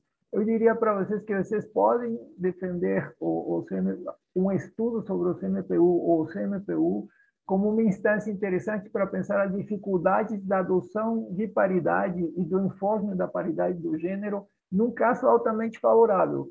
Porque, primeiro, ele é menos competitivo. E o que todos, todos que sabemos de, de gênero e representação é que quanto mais competitivo, menor, menor o número de mulheres. Então, quanto mais você sobe, menor o número de mulheres. Quanto mais recursos você precisa, menor o número de mulheres. Quanto, então, você tem mais mulheres na representação local, menos na federal, e isso vale para todas as instâncias. Quando se acirra a competição, mecanismos de gênero entram em jogo e a estrutura patriarcal produz seus efeitos e mulheres não entram. Então, você tem um caso que é menos competitivo, em que poderiam entrar mais mulheres. Você tem um caso que é menos competitivo de governo, que está sendo estudado em governos de esquerda, que tem compromisso com essa agenda, logo o governo de esquerda poderia impulsar. Você tem uma parte importante de representantes indicados, logo não operam os mecanismos tradicionais que a, a população selecionando homens, senão porque aí é, é, o gestor que diz que tem que colocar uma mulher, coloca uma mulher, porque tem que seguir a regra. E você tem uma forte presença de sociedade civil mais à esquerda, uma parte dela, pelo menos. Então, dado tudo isso, você diz, olha, esse é um caso é um caso em que a representação de gênero ela teria de paridade, digamos, teria altas chances de operar e, no entanto, vocês encontram, e aí cito vocês, barreiras eleitorais institucionais. Esse é um achado bonito mas você precisa jogar esse achado contra a literatura pertinente. Então, se você, mesmo num caso altamente favorável, existem barreiras eleitorais e institucionais que operam. Quais são essas barreiras? Bom, você tem que informar para nós e você tem que discutir isso. Elas são apenas mencionadas. Mas, em relação a seus, a seus eh, achados, Aí eu, eu diria para vocês que tem várias coisas, e com isso concluo que tem várias coisas para discutir aqui. É, vocês encontram muita variação antes da lei de paridade de 2015. Por exemplo, 2013 e 2014, 2013 e 2014 tem picos. Não é muito claro por quê? É, e na, se vocês olharem os dois gráficos, há uma maior mobilização, aparentemente, em todos os segmentos em 2013 2013 e 2014. Então, há fatores que aumentam a participação, provavelmente mobilização de atores, etc. Seria interessante saber. É, vocês têm dificuldades para atingir a regra de todos os segmentos, mas quais são essas dificuldades? Então, para você costurar esse argumento, que há dificuldades barreiras institucionais e barreiras eh, eh, eleitorais, vocês precisariam pensar isso por segmento. Quais são essas barreiras, como elas operam, etc. E, obviamente, vocês têm o prato cheio, que é a parte mais bonita do trabalho, que é é, os conflitos internos da administração. Olha, mesmo numa administração de esquerda, mesmo quando olha o que ocorre, né? aí você pode mostrar o caso da coordenação de política das mulheres da Secretaria Municipal de Direitos Humanos dizendo que tudo bem, não tem problema, e a procuradoria dizendo que tudo bem, não tem problema. Ah, olha o grau de dificuldade de você atingir equidade, mesmo no contexto altamente favorável. Então, se vocês puderem fazer isso, me parece que é, vocês conseguem produzir uma contribuição interessante à literatura, porque a maior parte da literatura ela tem focado sobre, sobre legislativo, onde a competição é mais bruta, as condições são menos favoráveis e é, não operam os mecanismos que vocês estão encontrando aqui. Então, ali vocês têm um filão bem interessante para produzir uma contribuição legal para o debate. É, então, acho que basicamente é isso. Parabéns pelos pelos dois papers e fico curioso para aguardar o resultado final. Bom, muitíssimo obrigada, Adriana, muitíssimo obrigado tanto a Thaís quanto a Laís pela, pela apresentação. Diante do adiantado da hora, vou pedir para quem tiver perguntas, coloque escritas pelo chat, vi aqui o comentário da, da Luciana. É, Luciana, como você prefere fazer? Que a Gabriela apresente ou que você comente antes da apresentação da Gabriela? Como que você acha mais pertinente? Melhor a Gabriela apresentar e daí eu falo na sequência. Pode ser? Combinado, Luciana. Muitíssimo obrigada. Vou pedir para a Gabriela acelerar um pouquinho para que a gente fique no tempo e também gostaria de registrar aqui que a gente está muito feliz em ter a presença do Dr. Marcos Vinícius, que é promotor de habitação e urbanismo do Ministério Público aqui do Estado de São Paulo e que tem uma atuação direta na revisão desse plano diretor e que é um interlocutor constante é, do observatório, então também também está aqui com a gente. Muitíssimo obrigada pela, pela presença. Passo então, sem mais delongas, a palavra à Gabriela. Olá, pessoal, boa noite. Vocês estão conseguindo ver minha tela, só para confirmar? Sim. E está passando direitinho? Passou para o segundo slide? Ainda não. Não? E agora? Não? Hum? Tá. Então, é, eu vou. Agora está passando. Agora sim. Tá. É, bem, então esse trabalho, né, assim como os demais, ele foi, eu estou aqui representando a apresentação, mas é, ele foi desenvolvido por é, por mim, pela Bianca, pelo Marcelo, pela Thaís e pela Laís, e também com a colaboração do Rafael, é, que é um dos pesquisadores do Observatório, e ele é intitulado né, como Percepções sobre a Participação Social Remota, a Política Urbana em São Paulo durante a pandemia de Covid-19. É, assim como os demais trabalhos, ele também surge é, nesse contexto de revisão é, do Plano Diretor Estratégico de 2021 e sobre a percepção é, né, da instância do Conselho Municipal de Política Urbana, mas o que a gente quer entender aqui é o que, que muda é, quando a gente tem uma participação que ocorre inteiramente de maneira remota, como vem acontecendo durante a pandemia de Covid-19. Então, devido à pandemia, a gente teve aí uma alteração, né, que essas reuniões era, elas aconteciam de forma trimestral, é, como a Laís mencionou, presencialmente, aí, por causa da pandemia, elas passam a ocorrer no ambiente virtual. Então, a gente quer entender o que, que muda é, devido a isso.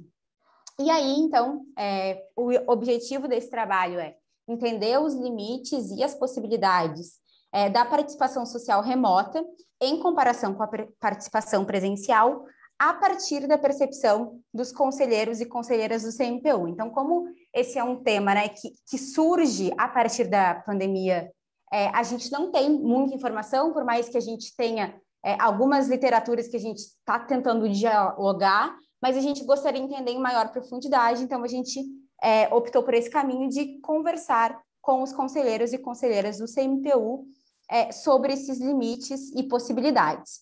E aí, a metodologia adotada para o trabalho. Foi, primeiro, a gente começou a acompanhar as reuniões remotas do Conselho Municipal que ocorreram é, neste ano de 2021, e aí, a partir dessas reuniões, a gente foi identificando atores que estavam mais ativos nessas reuniões, é, se manifestavam mais, então a gente foi selecionando, é, a partir disso, esses conselheiros e conselheiras para fazer entrevistas em profundidade. Até o momento, né, foram realizadas oito entrevistas, que representam cinco é, dos 14 segmentos que compõem o CMPU, e aí aqui nesse segmento eu estou incluindo é, não só os segmentos da sociedade civil, mas também o poder público, e aí vale dizer que é, essas entrevistas ainda estão em andamento, né? A gente ainda não concluiu esse trabalho. Esse trabalho é um trabalho que ainda está sendo desenvolvido. É, e além disso, a gente também tem feito análise de documentos oficiais, tanto do legislativo quanto do executivo, do Ministério Público e da Defensoria Pública também. É, bem, então a gente usa como é, principais guias aqui a literatura sobre instituições participativas, é, que coloca né, que essas instituições são formas de incorporar os cidadãos e, organiza e organizações da sociedade civil no processo de deliberação sobre políticas públicas, e que isso pode trazer tanto benefícios coletivos, no sentido de trazer melhorias para os serviços públicos, é, maior percepção de justiça e uma maior legitimidade, e também benefícios individuais para quem participa, é, que aí está relacionado ao conhecimento sobre determinados tópicos e também uma maior percepção é, de empoderamento desses cidadãos que estão participando desse processo deliberativo. E aí, relacionando então essas instituições participativas com a política urbana, a gente tem é, o Estatuto da Cidade, que foi uma lei é, de 2001, desculpa, que regulamentou é, os artigos da Constituição referentes à política urbana, e aí, a partir disso, surgem, então, é, esses conselhos de políticas é, da política urbana, orçamentos participativos e os planos diretores municipais. E aí, então, o que, que a literatura fala que são fatores de sucesso para a gente ter é, uma participação é, da sociedade civil nesse processo deliberativo?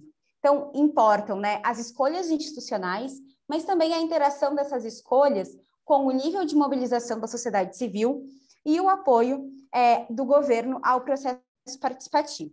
No entanto, no contexto que a gente está vivendo, a gente buscou entender é, o que, que muda quando a gente tem tanto um contexto de crise quanto um contexto de participação virtual. Então, a gente está né, tá vivendo um contexto que ele é completamente atípico do que já vinha sido é, estudado anteriormente. E aí, o que a gente observou através da literatura é que contextos de crise, geralmente, eles podem trazer um maior engajamento dos cidadãos é, em questões públicas, além de que tanto a sociedade ela se organiza e aí acaba possuindo um papel importante em arranjos de governança, mas ao mesmo tempo também a gente pode ter uma resposta governamental mais centralizada.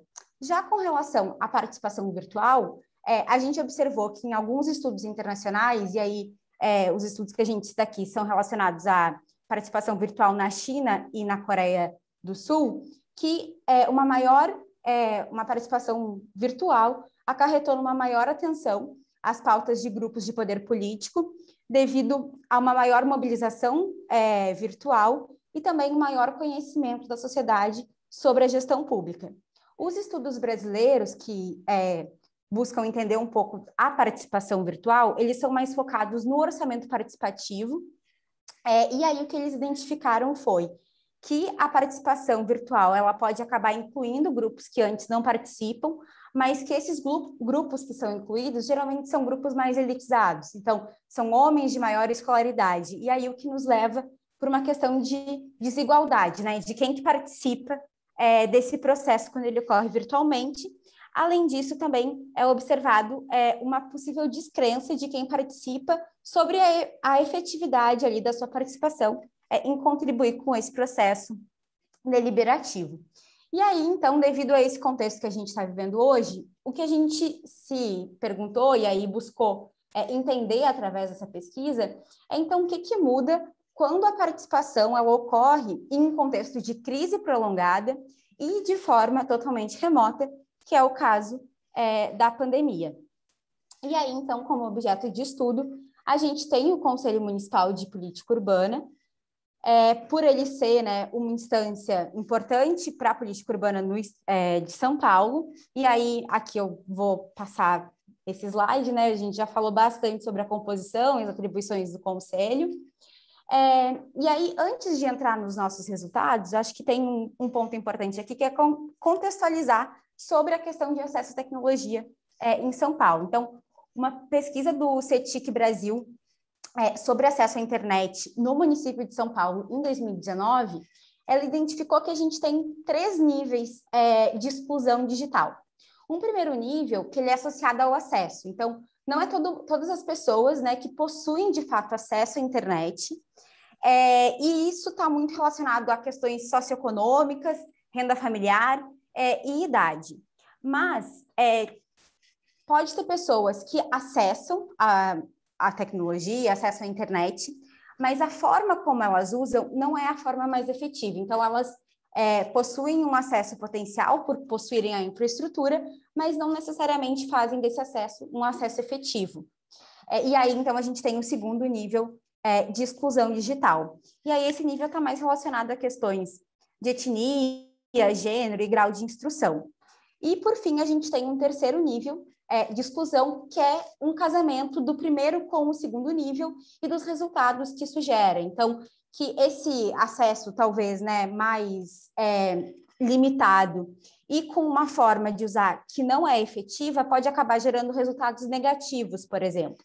E aí incorre é, em riscos de, é, de utilização mesmo, de questão de segurança e também da própria oportunidade de usar isso como um meio é, de informação. Então, a gente tem esse contexto e a gente migra né, para uma é, participação que é completamente online.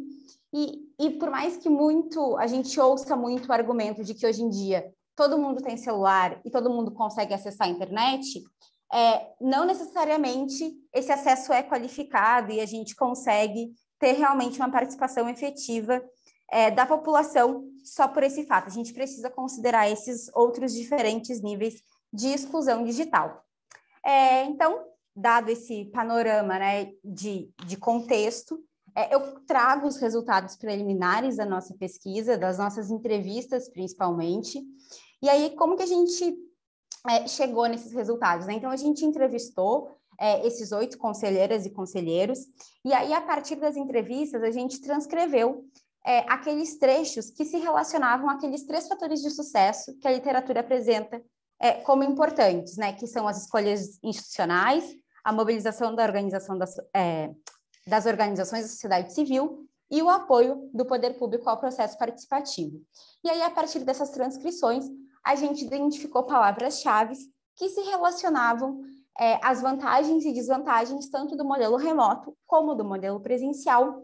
E aí a gente trouxe aqui é, esses achados né, da pesquisa até o momento e, e tentando conectar eles com esses fatores. E aí acho que aqui é até importante um ponto que isso ainda está aberto, né? Está aberto para o debate. Seria até interessante ouvir a Luciana é, e caso o Adriano também gostasse de comentar sobre é, essa categorização, né? Essa organização dos dados da nossa pesquisa.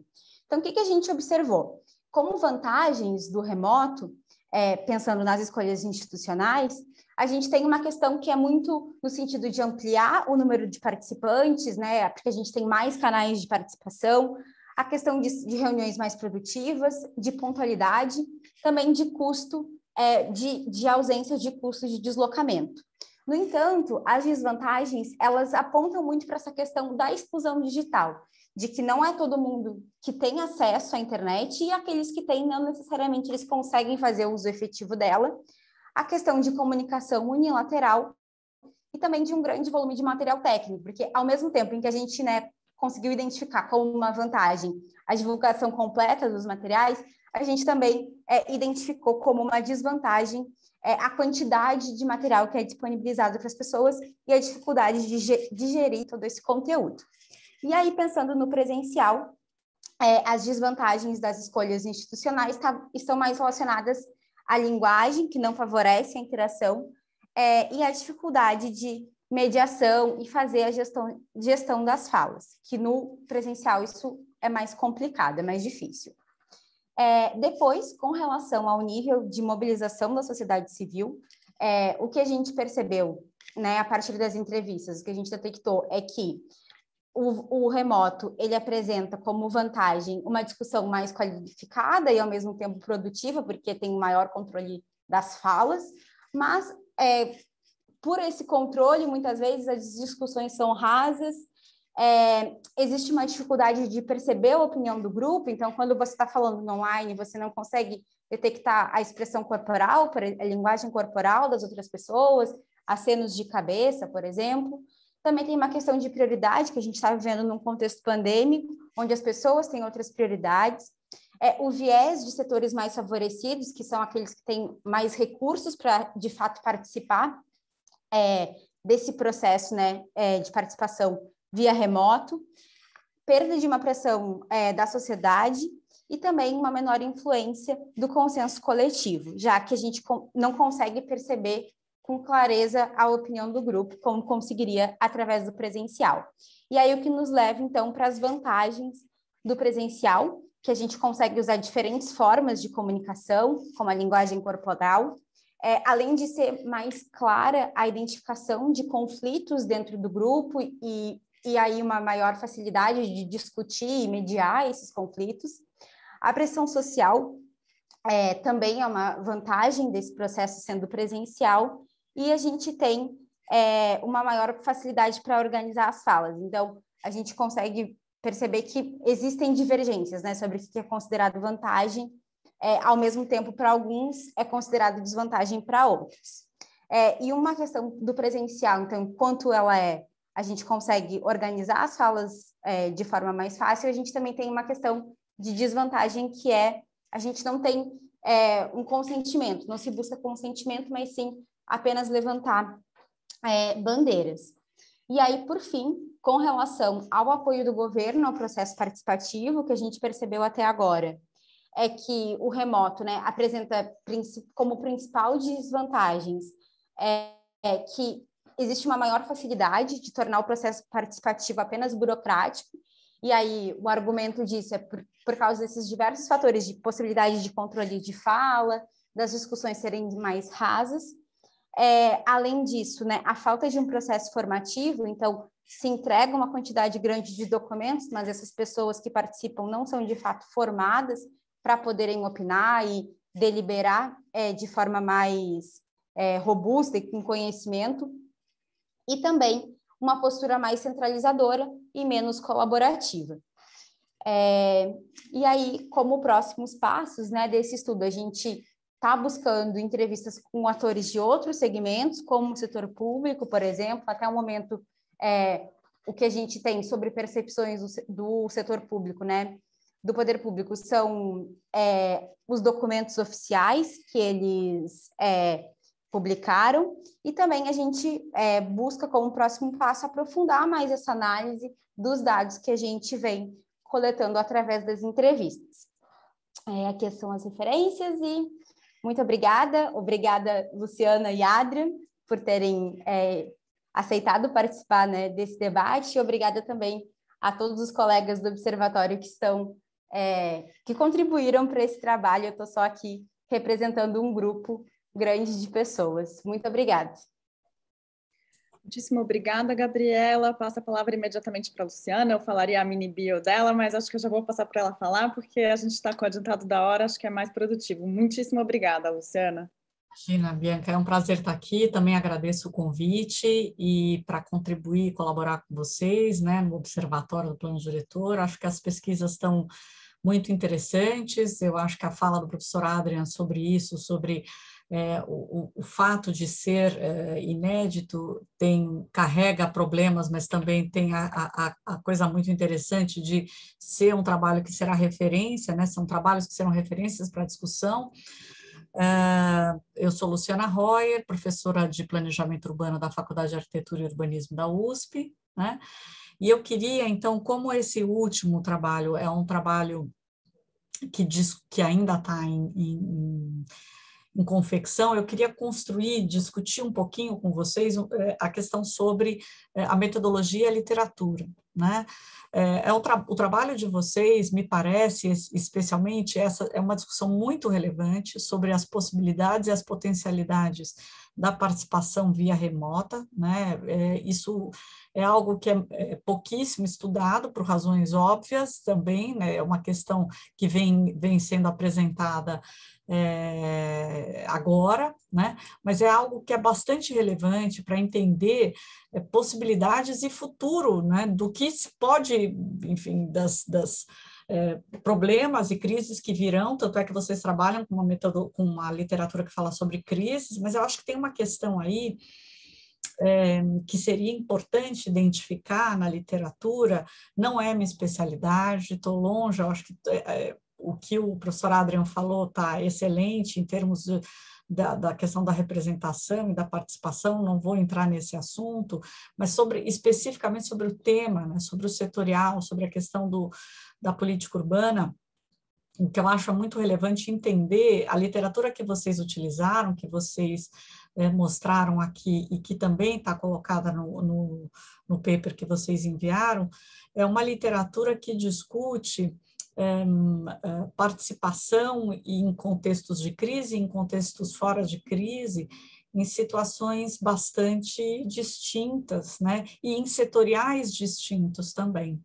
Eu acho que isso pode impactar os, os, os resultados ou as, eh, a iluminação, as luzes que esse debate dessa literatura traz, né?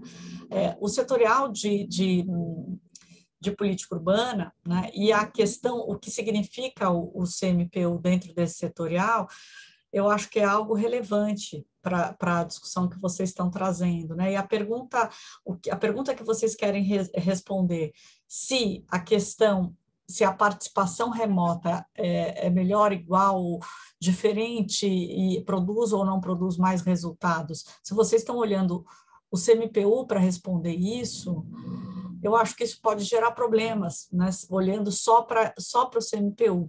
Tem que, seria interessante, eventualmente, comparar, olha eu aqui querendo dar mais trabalho para vocês, né?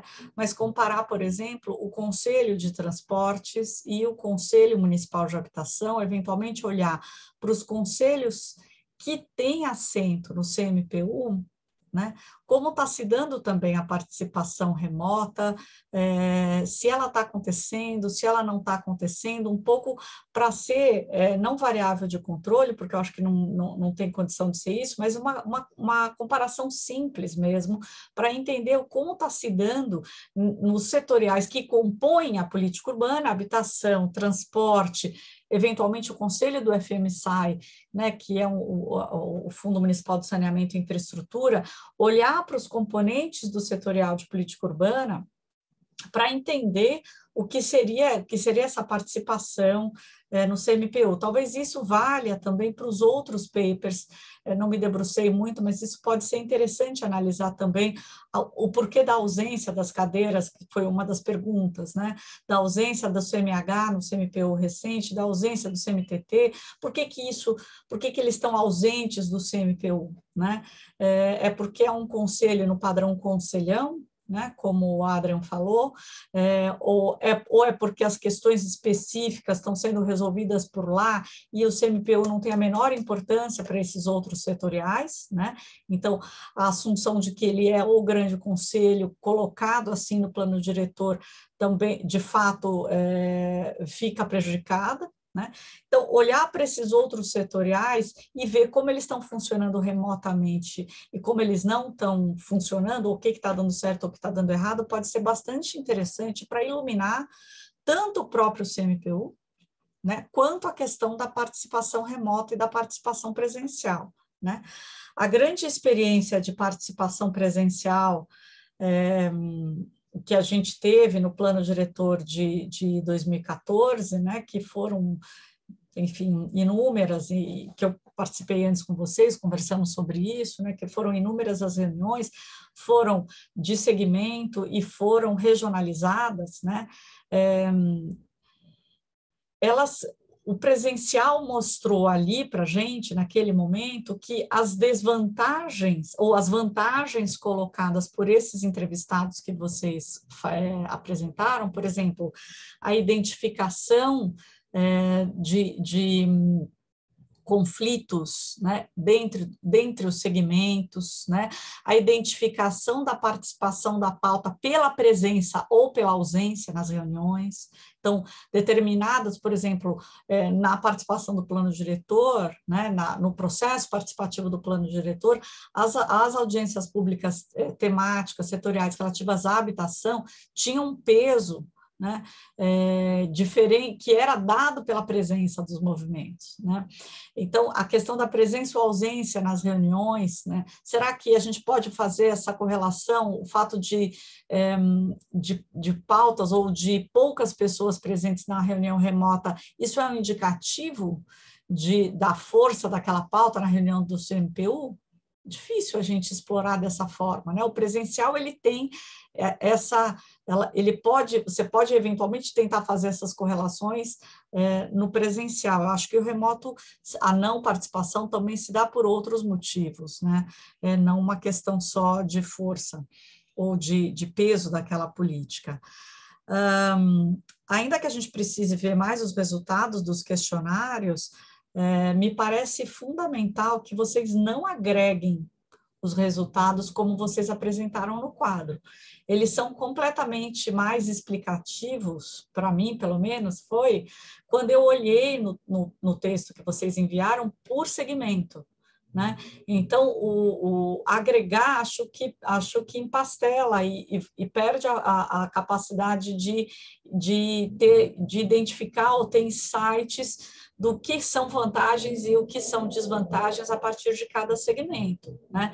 Então, eu estou entendendo que essas entrevistas são fundamentais na metodologia de vocês, seria importante entrevistar todo mundo mesmo, porque como vocês não têm é, para trás né, pesquisas sobre isso, sobre a questão da participação remota, apenas é, pesquisas, de, literaturas que estão falando de outros contextos e de outras questões, acho que o empírico que vocês vão trazer, especialmente nesse terceiro, é assim a, a, a grande contribuição é, do Observatório do Plano Diretor para esse tema. Né? Então, uma, tanto nos outros artigos quanto nesse, é, o fato de vocês apresentarem esse trabalho de formiguinha que a Thais falou, né? esse trabalho, ou a paciência franciscana, que o Adrian se referiu, de ficar olhando ata por ata, etc. Realmente, esse, esse, esse trabalho empírico que vocês estão trazendo é de grande contribuição para o campo. Né? Esse específico que discute a participação remota, então, acho que é um paper muito mais exploratório, no sentido de abrir possibilidades do que, do que tentar fechar alguma, alguma hipótese explicativa. Acho difícil é, trabalhar é, hipóteses explicativas porque vocês estão começando, vocês estão explorando o, o, essa, essa, essa, essa, essa temática, né? Então, fazer entrevistas exaustivas, né? identificar é, as motivações, é, de cada um dos segmentos, entender as motivações junto, tentando entender se eles estão fazendo se essa participação reforça as advocacies, né? Vocês falam em determinados momentos do texto que participação estava sendo podia ser confundida com inside advocacy. É, será que ele, será que é, essa, pensando aqui com vocês, né, me dando essa liberdade também, será que essas é, é essas vantagens colocadas por determinados segmentos, na verdade, reforçam as advocacies feitas em outros em outras eh, arenas, em outros lugares, né? Ou será que são vantagens mesmo do, do meio, né, da mídia?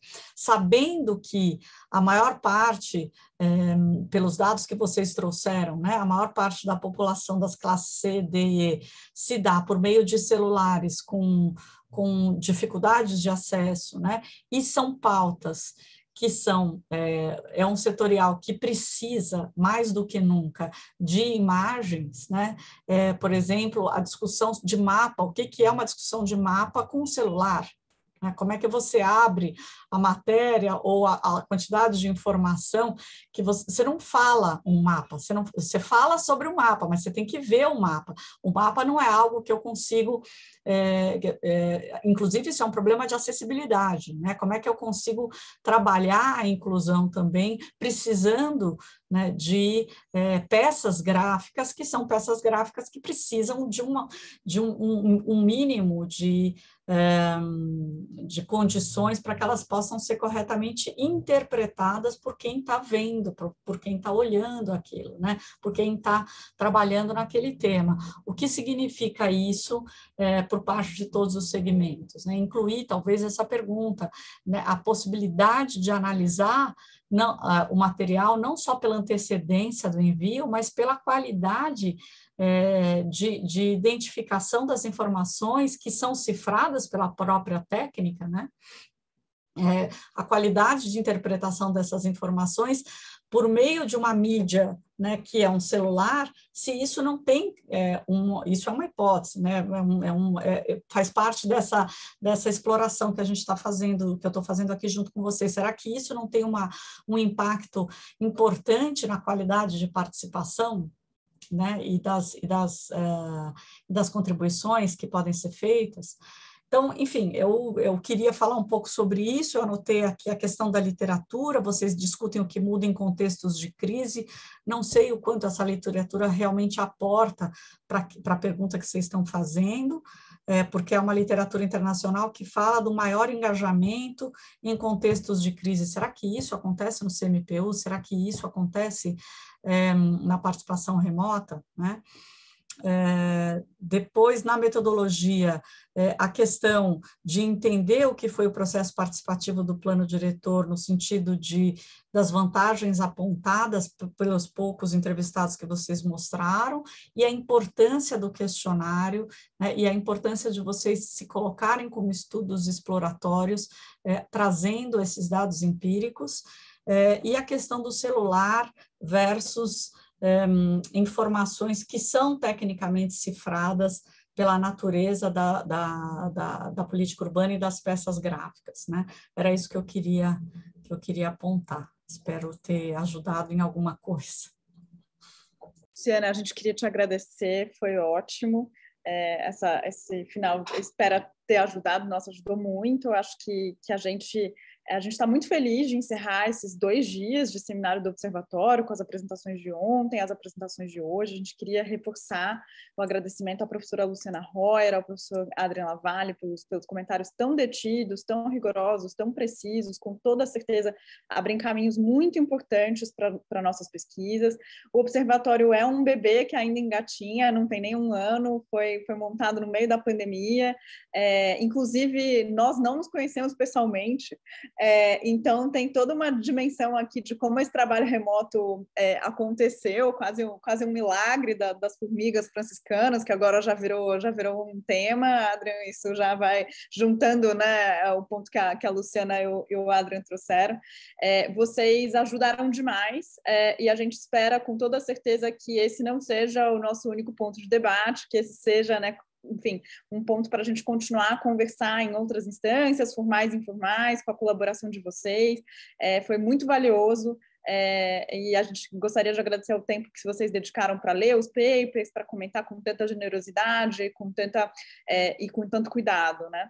É, eu gostaria então só de encerrar, né, pontualmente às oito horas, agradecendo a todos e todas que nos acompanharam nesses dois dias, que vão nos ver no YouTube.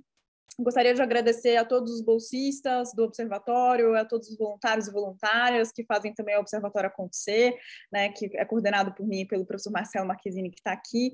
Também gostaria de agradecer ao Vinícius Barqueiro e à Maiara Almeida Pedro, que ajudaram a gente, foram um apoio fundamental para que esse seminário é, pudesse acontecer. É, a gente colocou que é o primeiro seminário, porque a gente espera que seja o primeiro de muitos, que a gente tenha muitos debates e discussões. É, a revisão do plano diretor é um tema quente, altíssima temperatura, temperatura, né? Vai ter muita é, diversão, se a gente quiser ser otimista, né? Ou muita treta, se a gente quiser ser menos otimista. É, então, vai ter muitos, muitos espaços ainda para a gente discutir. A gente acredita firmemente que pesquisa informada, com base em evidências, olhando para representação e participação democrática, é fundamental para que a gente tenha condições mais sólidas de intervir nesse processo e de, de ajudar e contribuir com o debate público. É, eu queria, então, só por fim, lembrar que a gente tem um site do Observatório, no site do INSPER, então convido a todos e todas para entrarem lá e gostaria de agradecer mais uma vez a todo mundo. A gente está muito feliz e com muita coisa para fazer a partir de agora. Muitíssimo obrigado. Obrigada, Bianca. Um abraço. Sucesso para vocês. Muitíssimo obrigada, gente. Tchau, tchau. Obrigado, gente. Muito obrigada. Tchau, tchau. tchau. Prazer te escutar.